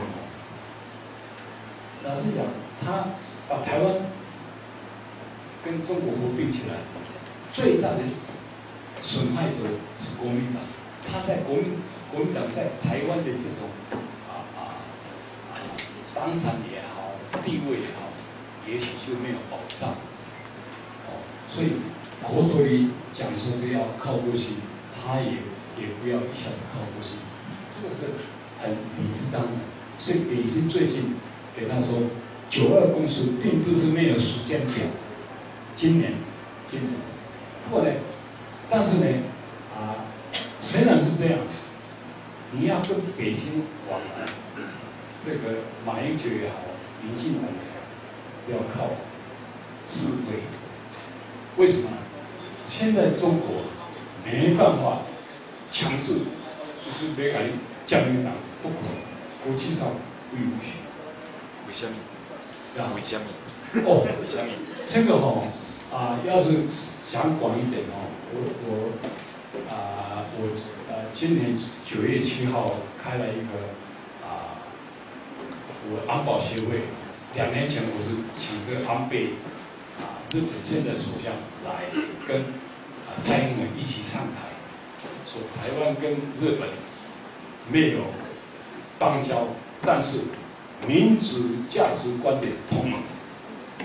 就是啊，安倍讲的，所以，今年我请这个日本这个防卫大臣九月七号也来，我另外有看过，今天不是在做政治宣传，但是那个为什么有这个能力呢？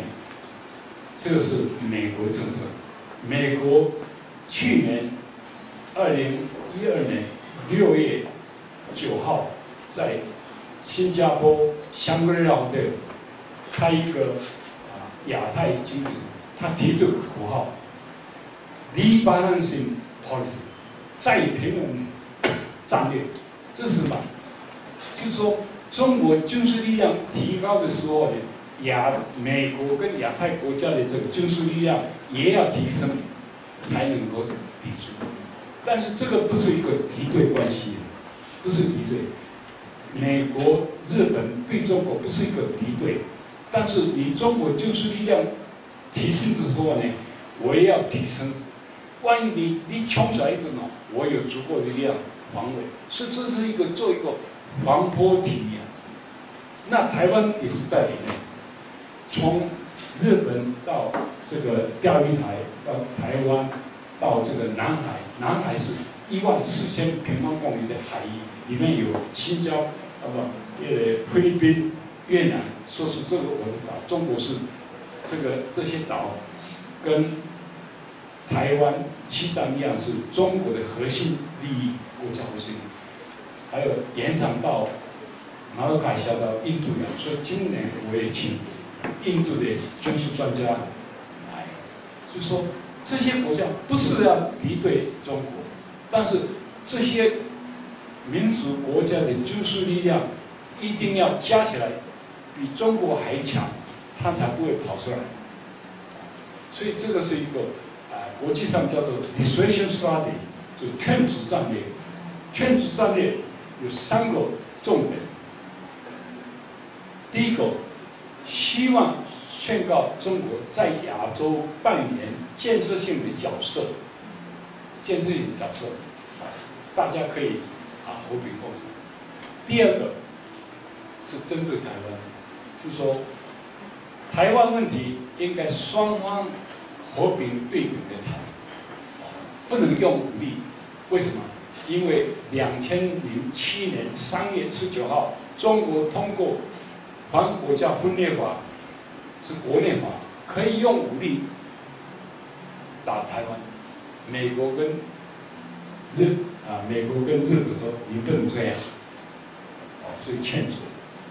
第三呢，为什么中国军事力量那个时候二十年来两位数的成长，是为了什么？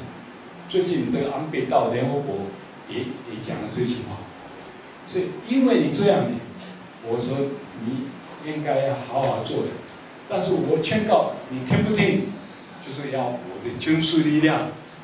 有足够的意志力量，你才才不会冒出来。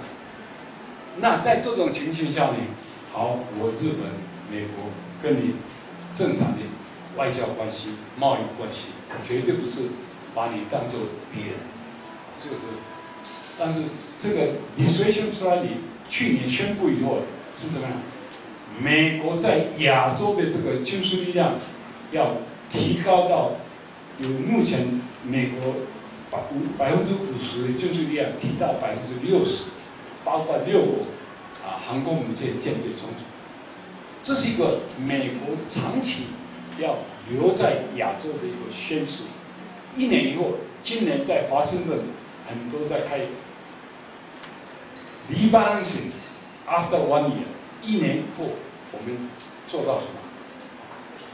这个都是在日美同盟这个范围，所以这样呢，日本、美国还有包括现在是印度，都是希望中国变成一个在亚洲扮演建设性的角色，但是不要走入一个冒险主义的一个国家。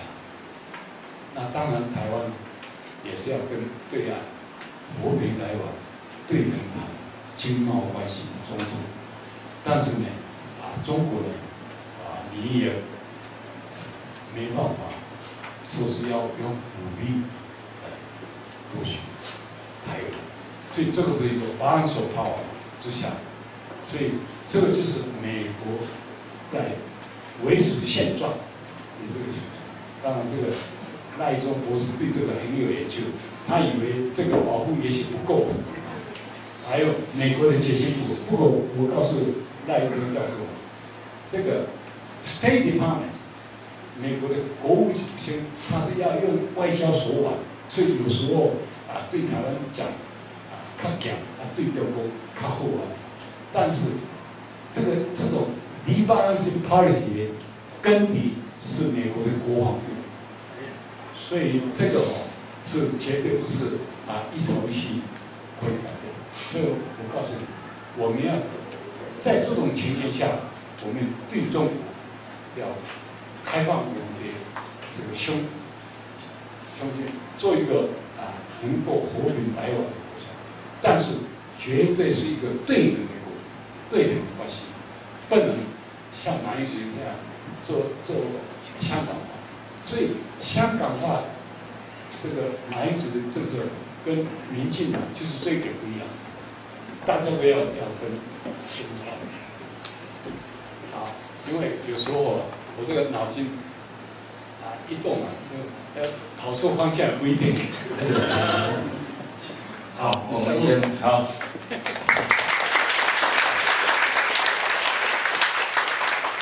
我们刚刚挖一些哦，他书上没有写讲的东西，不让大家回家看书就好了嘛啊。刚刚讲新旧译经书的部分，在那个。那本书里面两百二十八页，啊，二二八页，啊，到二三零页，啊，大家可以去看一下当时关于那个 T T G 开发组织联合国的那个他当时的那个一九九七年那个过程，有一个详细的交代，也可以大家可以自己去看。那接下来呢，因为本来我们这一班就要结束，可是呢，看大家没有走的意思，所以我们开放几个问题，好不好？有如果有几个问题。可以又咸又湿又辣，还有攻击性都没有关系。我想以那个罗大使的优雅，一定可以应付你们的啊！来，有三个问题，有没有？来一个，还有再来，下一题。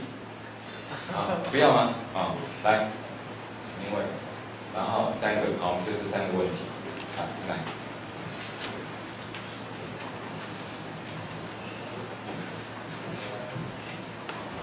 嗯，罗大使您好，呃，我姓邱，刚出社会要工要工作，那想直接请教您一个问题，我觉得联合国，呃，逐渐在衰弱中，很多事情它不能够解决，多议题在里面卡住了，那台湾到底还有没有加入的必要？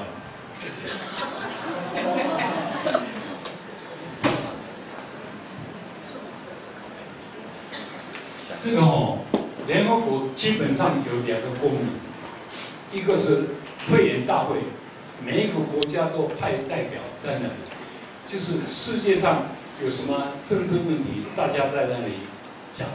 有时候，好比较最近，中国代表也好，安倍也好，到联合国去演讲，所以大概是大家啊，你同意不同意啊？大家在那里可以啊啊做一个。另外一个功能呢，就是啊，联合国我。这个我不是查，呃，成都进查都有数万人啊好，就是嘛，是怎么样子帮助世界解决一些问题？好比讲我刚才讲环境问题、卫生问题、森林问题、海洋问题，这是一个专门资源。所以这些专门资源只是代表联合国资源，不是代表某一个国家。那在联合国大会里面是代表。所以啊，其实呢，啊啊啊，联合国有时候没有有没有我们有没有必要去参加？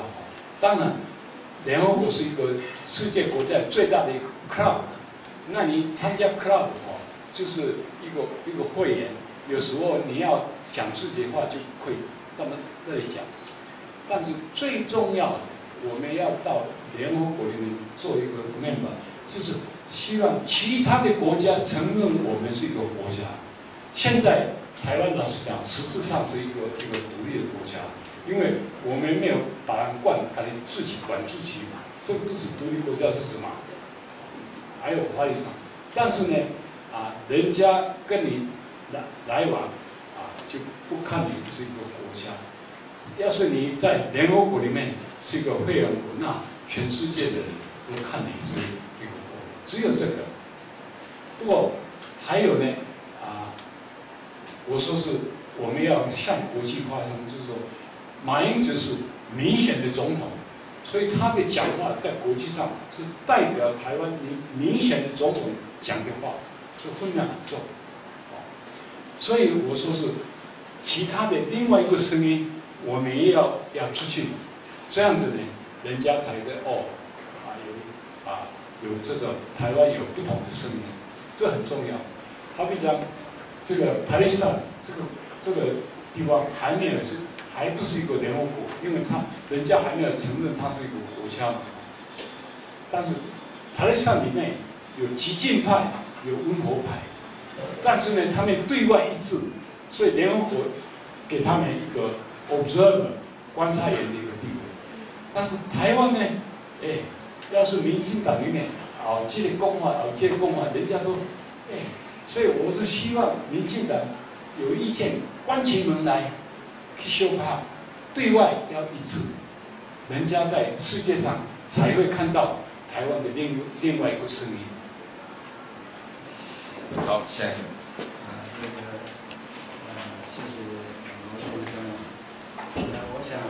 是这个台湾独立运动啊，从日本带到美国，而且把这两个地方的这个台独人士整合在一起，一个非常重要的，也就是说，台湾的这个台独运动的整个呃世呃变成一个世界化的这种团体，是在你身上从刚才提到点到的那一点上。我从你的历史上啊读出来。不过我在经过台独呃联盟回到台湾二十年来，呃，就是包括啊被你呃带进呃参加日本的这个台湾独立联盟的张灿荣先，到最近还在当立法委员的这个陈唐安先，甚至年轻一代现在经商有成、财产呃算亿的这个郭培勇先生，呃，就是现在要选。呃呃，云林县长的这个啊李彦年先，不过看起来你的呃呃你是不可要救的乐观主义者，但你不想是从理性主义出发啊来看，哎，你从呃放弃在美国在日本的生活，回到台湾之后呃 pollution 非常厉害的一个地方，也可以证明。我我想。啊，一点的都是是不是台湾独立运动者的理想，在一九七零年代、六零年代的时代里，因为我我的年纪刚好是在台湾中少女十届啊，我们也多少受到这个那那一段的这个呃历史文化的这种影响。我想看起来好像呃台独分子似乎不是分子啊，台独人士已经好像在台湾的这个现实的政治呃。界上面有点呃可惜，就是衰落这种感觉。我不知道你的心啊有什么样的这种想法？啊，这个这个问题很大，但是我很简单的啊，的确，我们那个时候日本到日本去留学的人，在台湾在日本就开始这个台那在美国。几个人开始尤其在在留学开始，但是呢，到我去留学的时候，六十年代留学生开始增加，所以呢啊就有有这个哎，是不是大家一起？那我刚好先到日本去啊，然后到美国去，好比书里面有这个关之琳啊，关之琳的人啊，有的到日本去，有的到美国去啊，结果那个时候啊，虽然是一个啊呃台独运动，碰到一个人能不能信任，我这个问题很大，所以都是以前的老同学这样子。所以，我当然啊啊帮这个日本跟美国啊本来跟他交往的，以前是很孤立的几个人，但是这留学生一来，我到日呃回来这个的时候，全美国有三十几个台湾同乡会，哦，老实讲，我对那那个台湾同乡会的，我是非常的尊敬，你想想。一方面他不敢入门，一方面敢激情。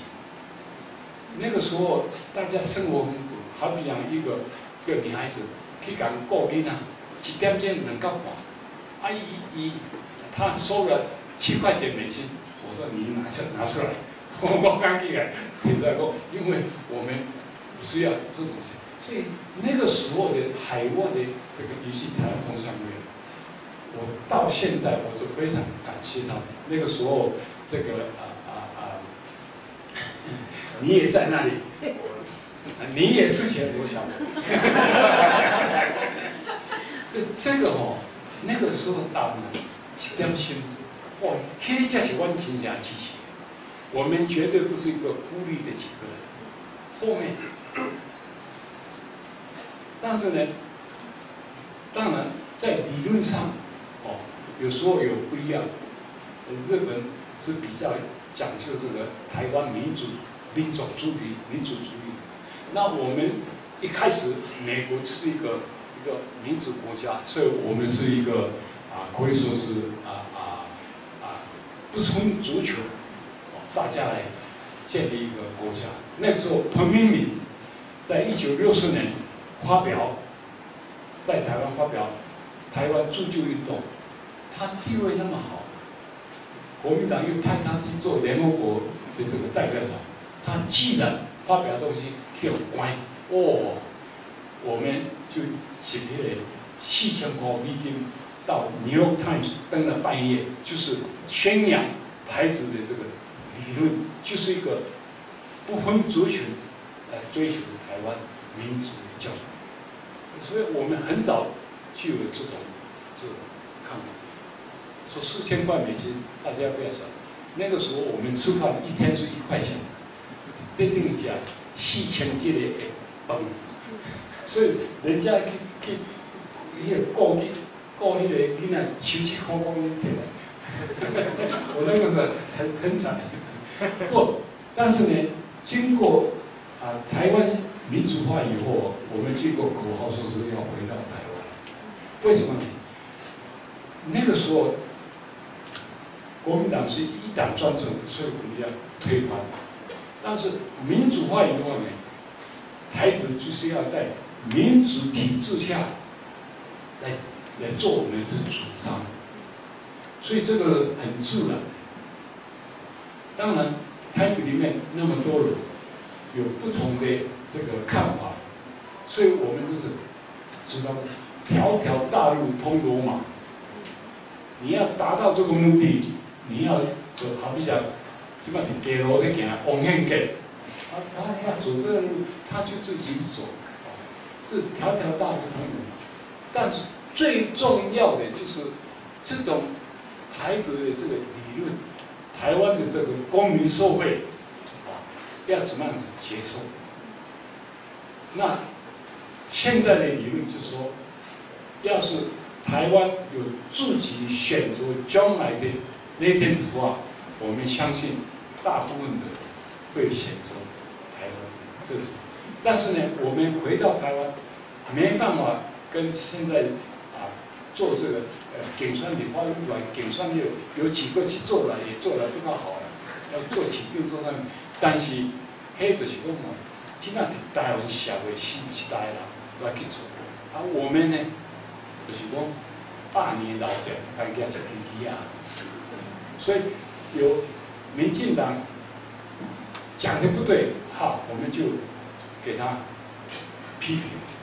所以我们现在在台湾参与是一个整个这个台湾的这个活动里面，我们就有时候有时候我说不要改去灯塔，哎，人家走错方向的时候，我说哎，这个灯塔的方向是在这里，我们就扮演这种角色。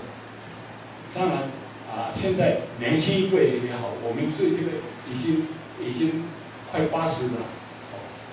但是，我们虽然到八十，我们这个旗子还要拿着，因为像，我以为这个是对台湾是最好的一个。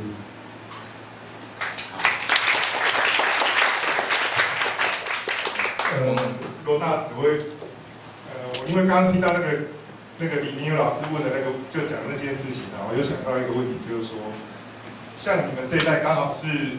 有受过两种教育，就是前半段是日本教育，然后半段是国民党的教育，然后你后来又出国，然后也有也有在日本在受大学的教育，然后又到美国去工作。那我想要问说，你觉得就是日本的教育跟国民党的教育给你的影响是什么？就是说，像像有的人会讲，像李登辉，大家都会讲说他是很纯，就是很日本式的思思维方式。那像你是一个老师混合式的，那觉得对你这一生有什么影响？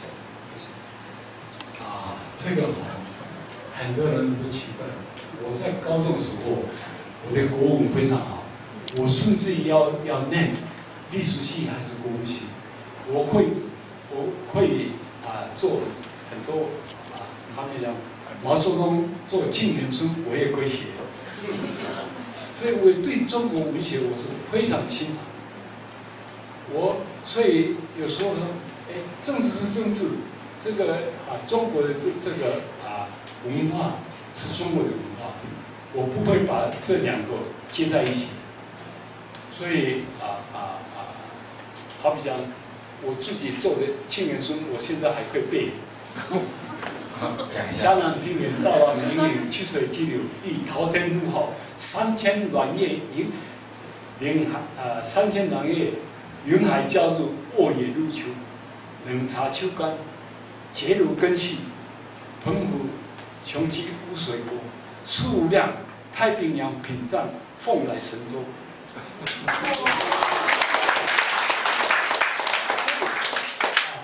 这个哦，对于这个这个国家，我日本的这个古典文学我也念了很多。我以前就讨厌政治，所以都关起门来在念书。所以这个文化跟政治是不一样。不一样，那最重要就是啊，日本战前是一个军国主义，但是战后它变成一个民主国家，所以我都看过不同的时代的这个日本，所以日本政治家跟我谈起来，他觉得嘿，我的生长过程跟他们一样，哦，所以特别亲切的哦，所以我最喜讲，我是知日派。但是不是爱日派，这不一样。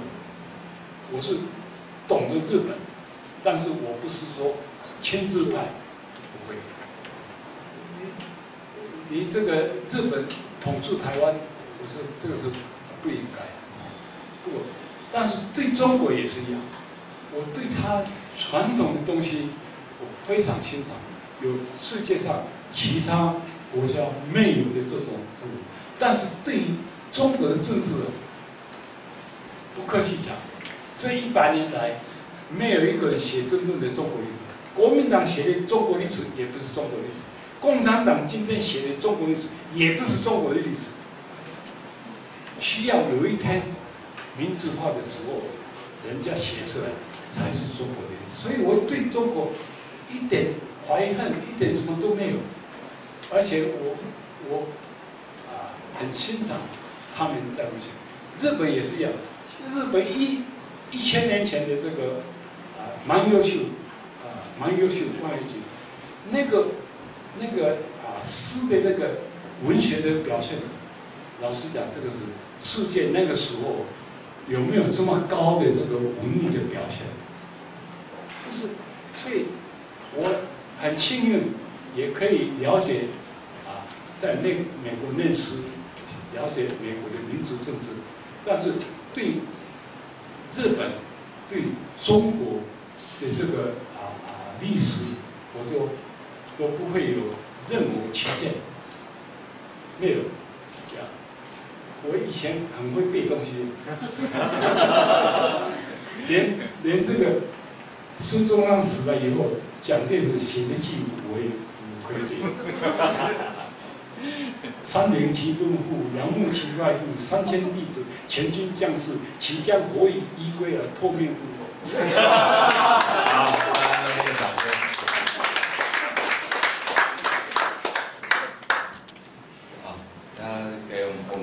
在因为我们的时间的关系啊，所以我们十点哦要结束。但是在结束之前呢，我可能要请两个人哦再讲一下，一个是李明勇啊老师，在最后帮我们做结语。然后呢，另外呢就请赖义忠哦，他以前的好朋友啊，也是现在好朋友啊，我就说一下，他们来讲一点哦，现在反驳一下他讲的那个罗大师讲的，对不对啊？啊，挑战一下，好，谢主持人哈，妈妈拜山哈，大业喜。说那个，第一个先讲啊，就是说大使啊，多阿叶大使，你还供那个他对中文的那个爱好，我你几份的牺牲哦，真的可以那个亲身见证。因为那个在日本代表处啊，那个地方的一个好事情，办公室该业官邸就在隔壁，所以说你早上起床八点起床，八点十分就在办公室里面，哦，你你大概刷牙洗就过去了。啊，那罗大，我记得那时候那个我在当办公室主任，然后罗大使他下班以后，然后我看拿工刀他那个官邸去逼，就那看罗罗大使就是一边刀个雪茄，然后那个然后在那个地方用毛笔在写诗，然后有的时候就跟他拿一千张偷偷把它拿回来。那阿锦讲他他写很多，因为每次看都不一样，所以他真的是中文造诣很好。啊，但底下哦，就讲，即马讲就讲较严重问题，就是台湾边啊生存。那实际上，我是刚刚今嘛吼，当然有真多人，因为对台湾主权哦的那个关切，认为说那个我们现在要怎么样再恢复我们主权。但另外一个，其实现在比较重要的问题是说，台湾做一个国家生其实生存要怎么生存下去一个根本的问题。这个东西要先能够确立下来。那确立的部分当然还是经济，还是要经济。那经济实际上这边会牵涉到很根本的问题，等于讲多黑罗仔谁共轨。我们现在这个这个产业啊，IT 产业基本上百分之七十，甚至我们可以讲百分之九十大概都过去了，剩下留在这个地方呢，基本上那个 technical 的那个 foundation 已经不在这边，所以说怎么样要在技术上面寻求我们的重新的那个回潮，这个东西非常重要。那这个部分可能需要政策上面很多的那个 initiative 配合。可是另外一个部分哦，就是说若技术上面的话，那可能要看到内哈，就是说未来的发展里面。有哪些跟台湾，特别是台湾的这个呃，我们国家的那个社会的基本的结构比较相合？比如说我们很多中小企业，那可能例如说三 D 列印这个东西，我碰到很多都这样的，三 D 列印可能会是对台湾中小企业发展会最快的地方。你只要想象，以后身边一旦的每个地方有个 print shop，在那个地方开始印出印，但是实际上是得到你要的东西，就是在那边生产。然后你现在以后因为这个样，大工厂的生产模式会不见，红海完蛋了。所以我在这个地方，我是这样讲说，为什么郭台铭他开始要切割？因为你咱要从三 D 列印出来，整个红海它的生产模式、大工厂模式不见，因为到时候会是小小的 print shop 这个地方会来支配。那，当然这个只是一个，只是一个那个，那个那个一个一个，就是说做一个那个语言而已。那最后来讲就是说哈，因为现在我们当我们面对台湾的那个生存，实际上有一个很重要的部分是说，例如说我们要进入这个区域的那个经济的合。哦，那我们也知道跟中国的那个 A 法，我们也不能把所有东西放那个地方去，但是要跟其他地方的连接要怎么做？好，那这边当目前刚罗大使他提到两个部分，一个是 TPP 嘛，好，可是现在有一个其实很严肃，我们现在要面对的问题，那有可能我批出力哈，我不可能，我们要不然就是现在死或以后要死的问题，就是说 TPP 它实际上它的那个对台湾，就是它对国家内部的侵入性会很强。强到什么程度嘞？他会一旦签 TPP 的时候，你要被迫改变国家内部非常多的法律规则。举个例来讲，可能我们的鉴保的制度要完全的要重新的会被 rewrite。怎么说呢？因为它的那个 TPP，它可能把药这个东西要交给市场机制，到时候用国家的那个那个我们用鉴保的方式去去那个引诱使这个药药的这个部分，他是说这不符合 TPP 的规则啊，所以说怎么样呢？这东西不行了。我们鉴保的那制度啊，可能在药这个部分呢，这有一半以上就被它摧毁掉了，那怎么办？好，像这样的一个问题，那更不要提说 TPP 在其他在规则上面的那设定里面所。遭遇到的一个新的状况，那这个地方是台湾现在哈，如果说我们真的要交 T P，我们真的认为这个东西很重要的时候，我们可能需要去思考我们整个自由化的策略。但自由化策略，我们现在面对里面比较大的困难是在哪边？第一个是我们现在我们既有国家的那个结构本身它就是，并不是为自由化在处理。官僚讲说说它自由化，实际上它是懒惰，但实际上整个官僚结构是阻挡了非常多自由化的一个浪潮，所以说那不是真的自由化的。官僚的处理过程，那另外一个是自由化里面可能造成我们对社会其一些其他产业上面所形成很危险的一个那个问题。那这个东西我们可以用，例如说是用补助或者扶助，或者是用这种政策手段来处理吗？有的时候不一定能够这个样做，那怎么办？哦，所以说这个东西有时候是要思考是一个很根本的，我们国家它要生存的时候要很严重要去处理一个问题。那目前实际上来讲还没有机会哦。好好去思考或会想到的这个部分。那再来就是说，如果现在来讲，哈，如果说我们要国家经济自存的话，好，我们要在中国以外地方寻求这个连接，那我们要怎么做呢？那我们当然都是说，例如说跟日本、跟美国什么 FTA，但是我们知道美国现在他不想跟台湾签嘛，哈，那日本他可能有一点机会，然后东南亚或印度他可能会有也有一些机会，但是我们现在如果跟他们去做的话，有很多的问题要去做的时候，那怎么办？那我们是不是自己内部要进行一个体制上面一个改造？例如说，好，我们国家不一定有办法接签的话，那有没有办法？例如说，区域执政，例如说好，民养执政的县市，以他们为单位出去跟对方的次序一起签，好不好？好，我们从那边创造一些空间。那有的时候变成我们自己这体制，国家、中央、地方这些体制边在进行很根本的变革。那这个东西要怎么去做？实际上，有的时候面对像这些是很根本的难题和难关哦。这个思考的这个的那个问题，那实际上，因为今天我想讲真侪人拢讲关心台湾建构，所以讲今天来讲嘛，看到都代表，也本身有非常多在联合国在其他地方台湾的那个国际的一个经验。那但是就是说，当问到这个问题的时候，当然我每天在想啊，但是也不能老是想，对不对？啊，但是要怎么做，我也不晓得要该怎么处理。好，当然是也是大家在那边继续努力。但是我这边就讲到说，实际上这些问题非常非常关键。哦，那他不是在媒体上面，例如说，这也不是我们骂骂马友骂两句哦，可以解决掉，因为这是两回事情。然后你要求民进党要去现在去讨论的，可能现在也没有那个空间，因为他们现在有有些其他的东西他们在想，哎，那那民间这个地方要怎么去做？但是他有些做的时候，可能和我们有些基本的信仰上面之间的那个问题要怎么去处理哈，这是我们自己可能要去思考的。开始就可能要东西。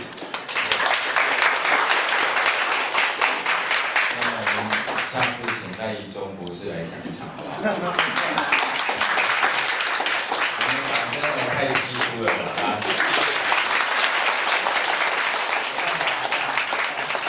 谢谢大家哈，来，来我们再一起。如果台湾呃独立，但是要早一点，刘先可能是最好的驻中国的该大使。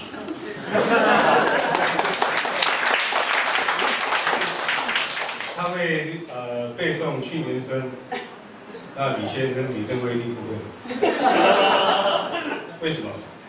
因为李轩呃事实上他的教育养成阶段，到大学毕业的时候是没有受过中国教育。然后刘先的呃日本教育的阶段在全区是小学，所以他有呃中国的这个接触。他后来当然在呃留学的时候已经是大学编剧。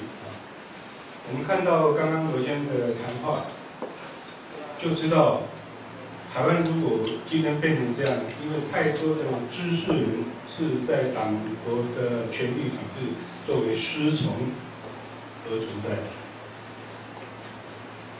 共华人民共和有以前在共产党有共青团，台湾有国青团，可是国青团是花拳绣腿。很多人在呃呃，我们看那个社会的最重要的构造，就是经济跟文化领域里面，很多在经济里面的很多的学者，事实上呃，他们的作为知识人的呃角色是不合格的，他们的那个知识只是在提供党国资本主义的一种支持力量。在台湾，我们看战后很多的呃所谓经济学者、经纪人。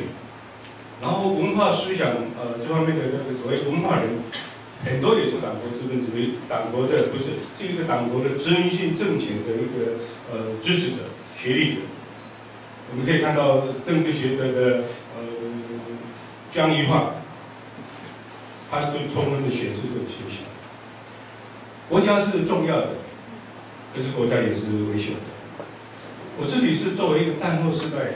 实际上，对那个战后的问题，特别是文化上，特别是诗这个部分，我常常从这里去看。二战后的欧洲的那个呃，原来犹太人被屠杀的问题反映在文学上，我做了很多的介绍。战后的呃问题，我觉得有两个在世界上有两个没有解决的问题，就是二战遗留的，一个就是台湾的问题。没有从那个二战后向其他国家从殖民地独立，然后卡在那个中国的问题被那个接收者的流亡政权占据以后，变成到现在搞得不清不楚。另外一个是以色列跟巴勒斯坦的问题，巴勒斯坦也是二战后，因为呃那个欧美把那个呃为了给犹太人一个国家，所以把那个巴勒斯坦呃到现在呃处理成这样。我自己对那个战后的中东问题。也很有兴趣，比如说我介绍过很多次的那个呃巴勒斯坦的最重要的是那个达维许，他已经过世了，他是原来是 PLO 的中央委员，是个非常重要的诗人，诗集是一百万本，阿拉法特的很多的演讲都他在写稿，那他进入那个呃巴勒斯坦的解放运动，然后一个诗人为什么去参与这个运动，这也提供了很多的启示。包括现在以色列，还有现在的中东的叙利亚，流亡到那个黎巴嫩的那个阿多利斯，这几年都诺贝尔奖提名很热。我一直思考，诗人为什么去在呃提到这些问题？那我刚刚提到那个国家是重要的，也是危险的。这个是二战后战败国的一个国家，日本的一个诗人讲的。国家是重要，但是国家也是危险的。如果一个国家，像德国纳粹德国的时候那么强盛，在侵略别人，那很多人很多知识分子国民都变成平庸的恶，这个国家就很危险。但是因为危险，我们就不要一个国家吗？也不是，世界是以国家的形式维持一个共同体的形式存在。刚刚罗先生讲，台湾如果加入联合国，能够确认台湾的国家地位，这个当然是对，因为台湾并不是一个确定性被承认的国家。如果加入联合国，当然这个家庭要解决。可是有些国家当然很少，像中华人民共和国，在一九七零年之前的二十年，它是不是一个国家？联合国不接受它，它还是一个国家，这个有很大的差别。然后像瑞士的中立国，他不愿意参加，这个是另外一个问题。我觉得台湾的问题就是更多的公民觉醒。要从那个党国资本主义的经济的形态里面解脱出来，不能做那种所谓威权师从体制，得到那个利益封建性的利益分享。第二个就是知识人啊，要从文化上有觉醒。我们看到台湾太多的知识人是在党国的殖民流亡政权里面做共犯，这个是台湾文化。如果我们大多数人都知道像罗先生这样的人。然后知道啊，我们很多人在我们的历史过程里面有这样的人，然后我们都去肯定这样的人，去信赖这样的人，尊敬这样的人，而去批评、去轻视、去批判那些复合在一种党国这民主义体制，把不真实的东西当做真实来骗我们、骗自己，可是他自己却准备绕跑，或者已经绕跑。我们的国家不会像这样，我们不可能没有建立我们的国家。我觉得我们的国民意志，我们的著名的呃，在台湾的寻求的那种所谓对台湾的国家的的承认，我觉得台湾现在不是一个国家，在我们民主化的选举以后，我们并没有从选举的这种所谓量化的统计里面，向世界宣誓证明说我们是要一个独立国家。我们有吗？我们没有。我觉得我们应该从这几个角度来。我具体作为一个诗人，跟台湾很多的呃诗人可能不太一样。比如说对那个呃社会批评、政治批评，我自己把它当做一种文明批评的角度来从事这个。我相信人类的智慧，还有它的良善，是可能朝向一个更良善美好的的社会来前进。我认为人类有这种的一一种性格，这个性格是所谓的文明性。那它一定有一种指标。可以检验政治、检验经济，因为它是一种文化，它可以检验政治、检验经济。然后呃，所以我用这个角度来呃进行我的一个呃社会批评。那这里面当然牵涉很多的这个政治批评，但基本上我还是以呃作为一个诗人的那个呃条件来作证。世界，首先的世界视野，台湾需要有世界视野。世界是有非常长的历史演变中，让我们知道什么是好的走向。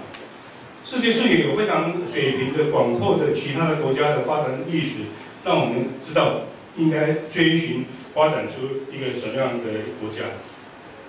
只有我们每一个人都成为一个人的主体，成为一个台湾人的主体，成为台湾的国民的主体，成为一个世界公民的主体，我们才可能。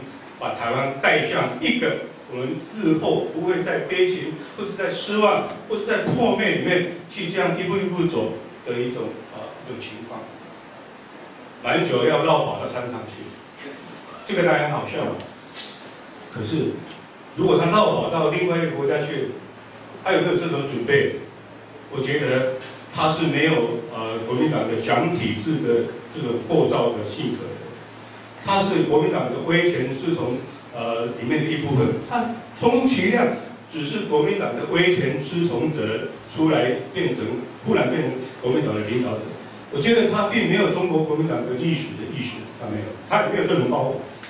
我觉得他反而把国民党啊怎么样去处理，或者国民党中国怎么样处理跟跟现在的中华人民共和国的问题，也许他追寻的历史定位也不一定好。而且我们不要忽略这个。因为他不是呃呃国民党的中国国民党的一种典型性的人，他没有那种里面的那种传统的感情的构造，他没有。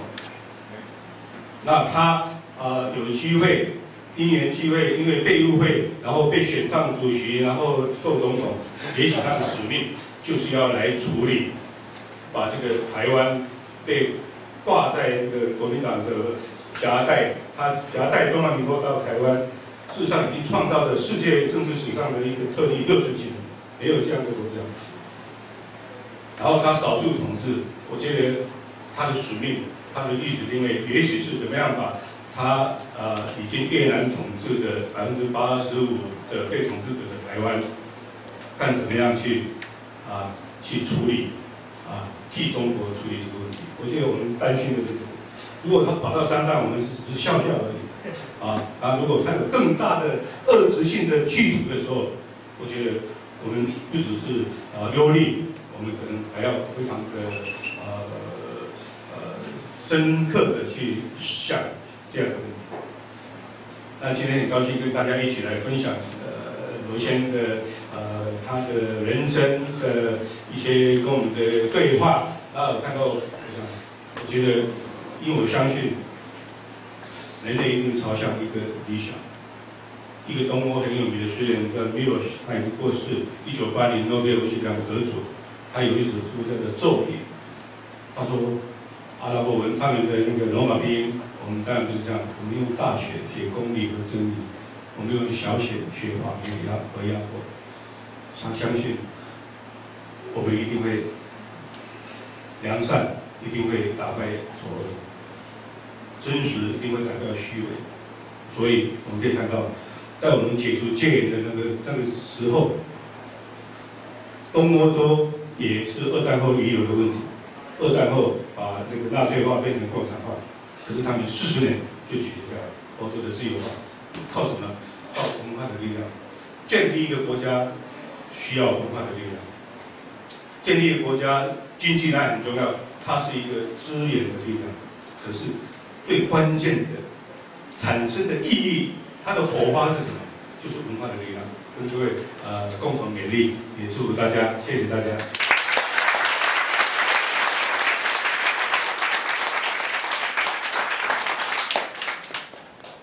好，非常谢谢李明勇啊，诗人。然后我们希望说，下次他来跟我们谈谈他的诗，好不好？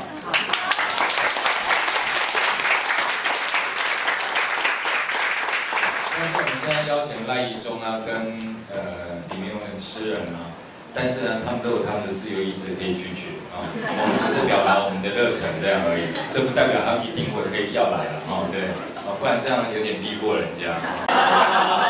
再来，今天呃，这些星期五，因为我们刚刚谈到这个问题，其实当然我们也会遇到一些中国的问题。当然我知道很多人在面对到呃中国的时候，可能是依依依据我们被打压啦、被排挤啦，然后让我们没办法看到中国美好的那部分。其实，在某个方面是，比如说像中国人文人，有时候他们是非常强调风骨的。那刚好可能在台湾的这些受到中国教育的人，呃，就是没有展现他们的风骨，这就比较可惜。然后就祝大家晚安，然后我们下个礼拜再见。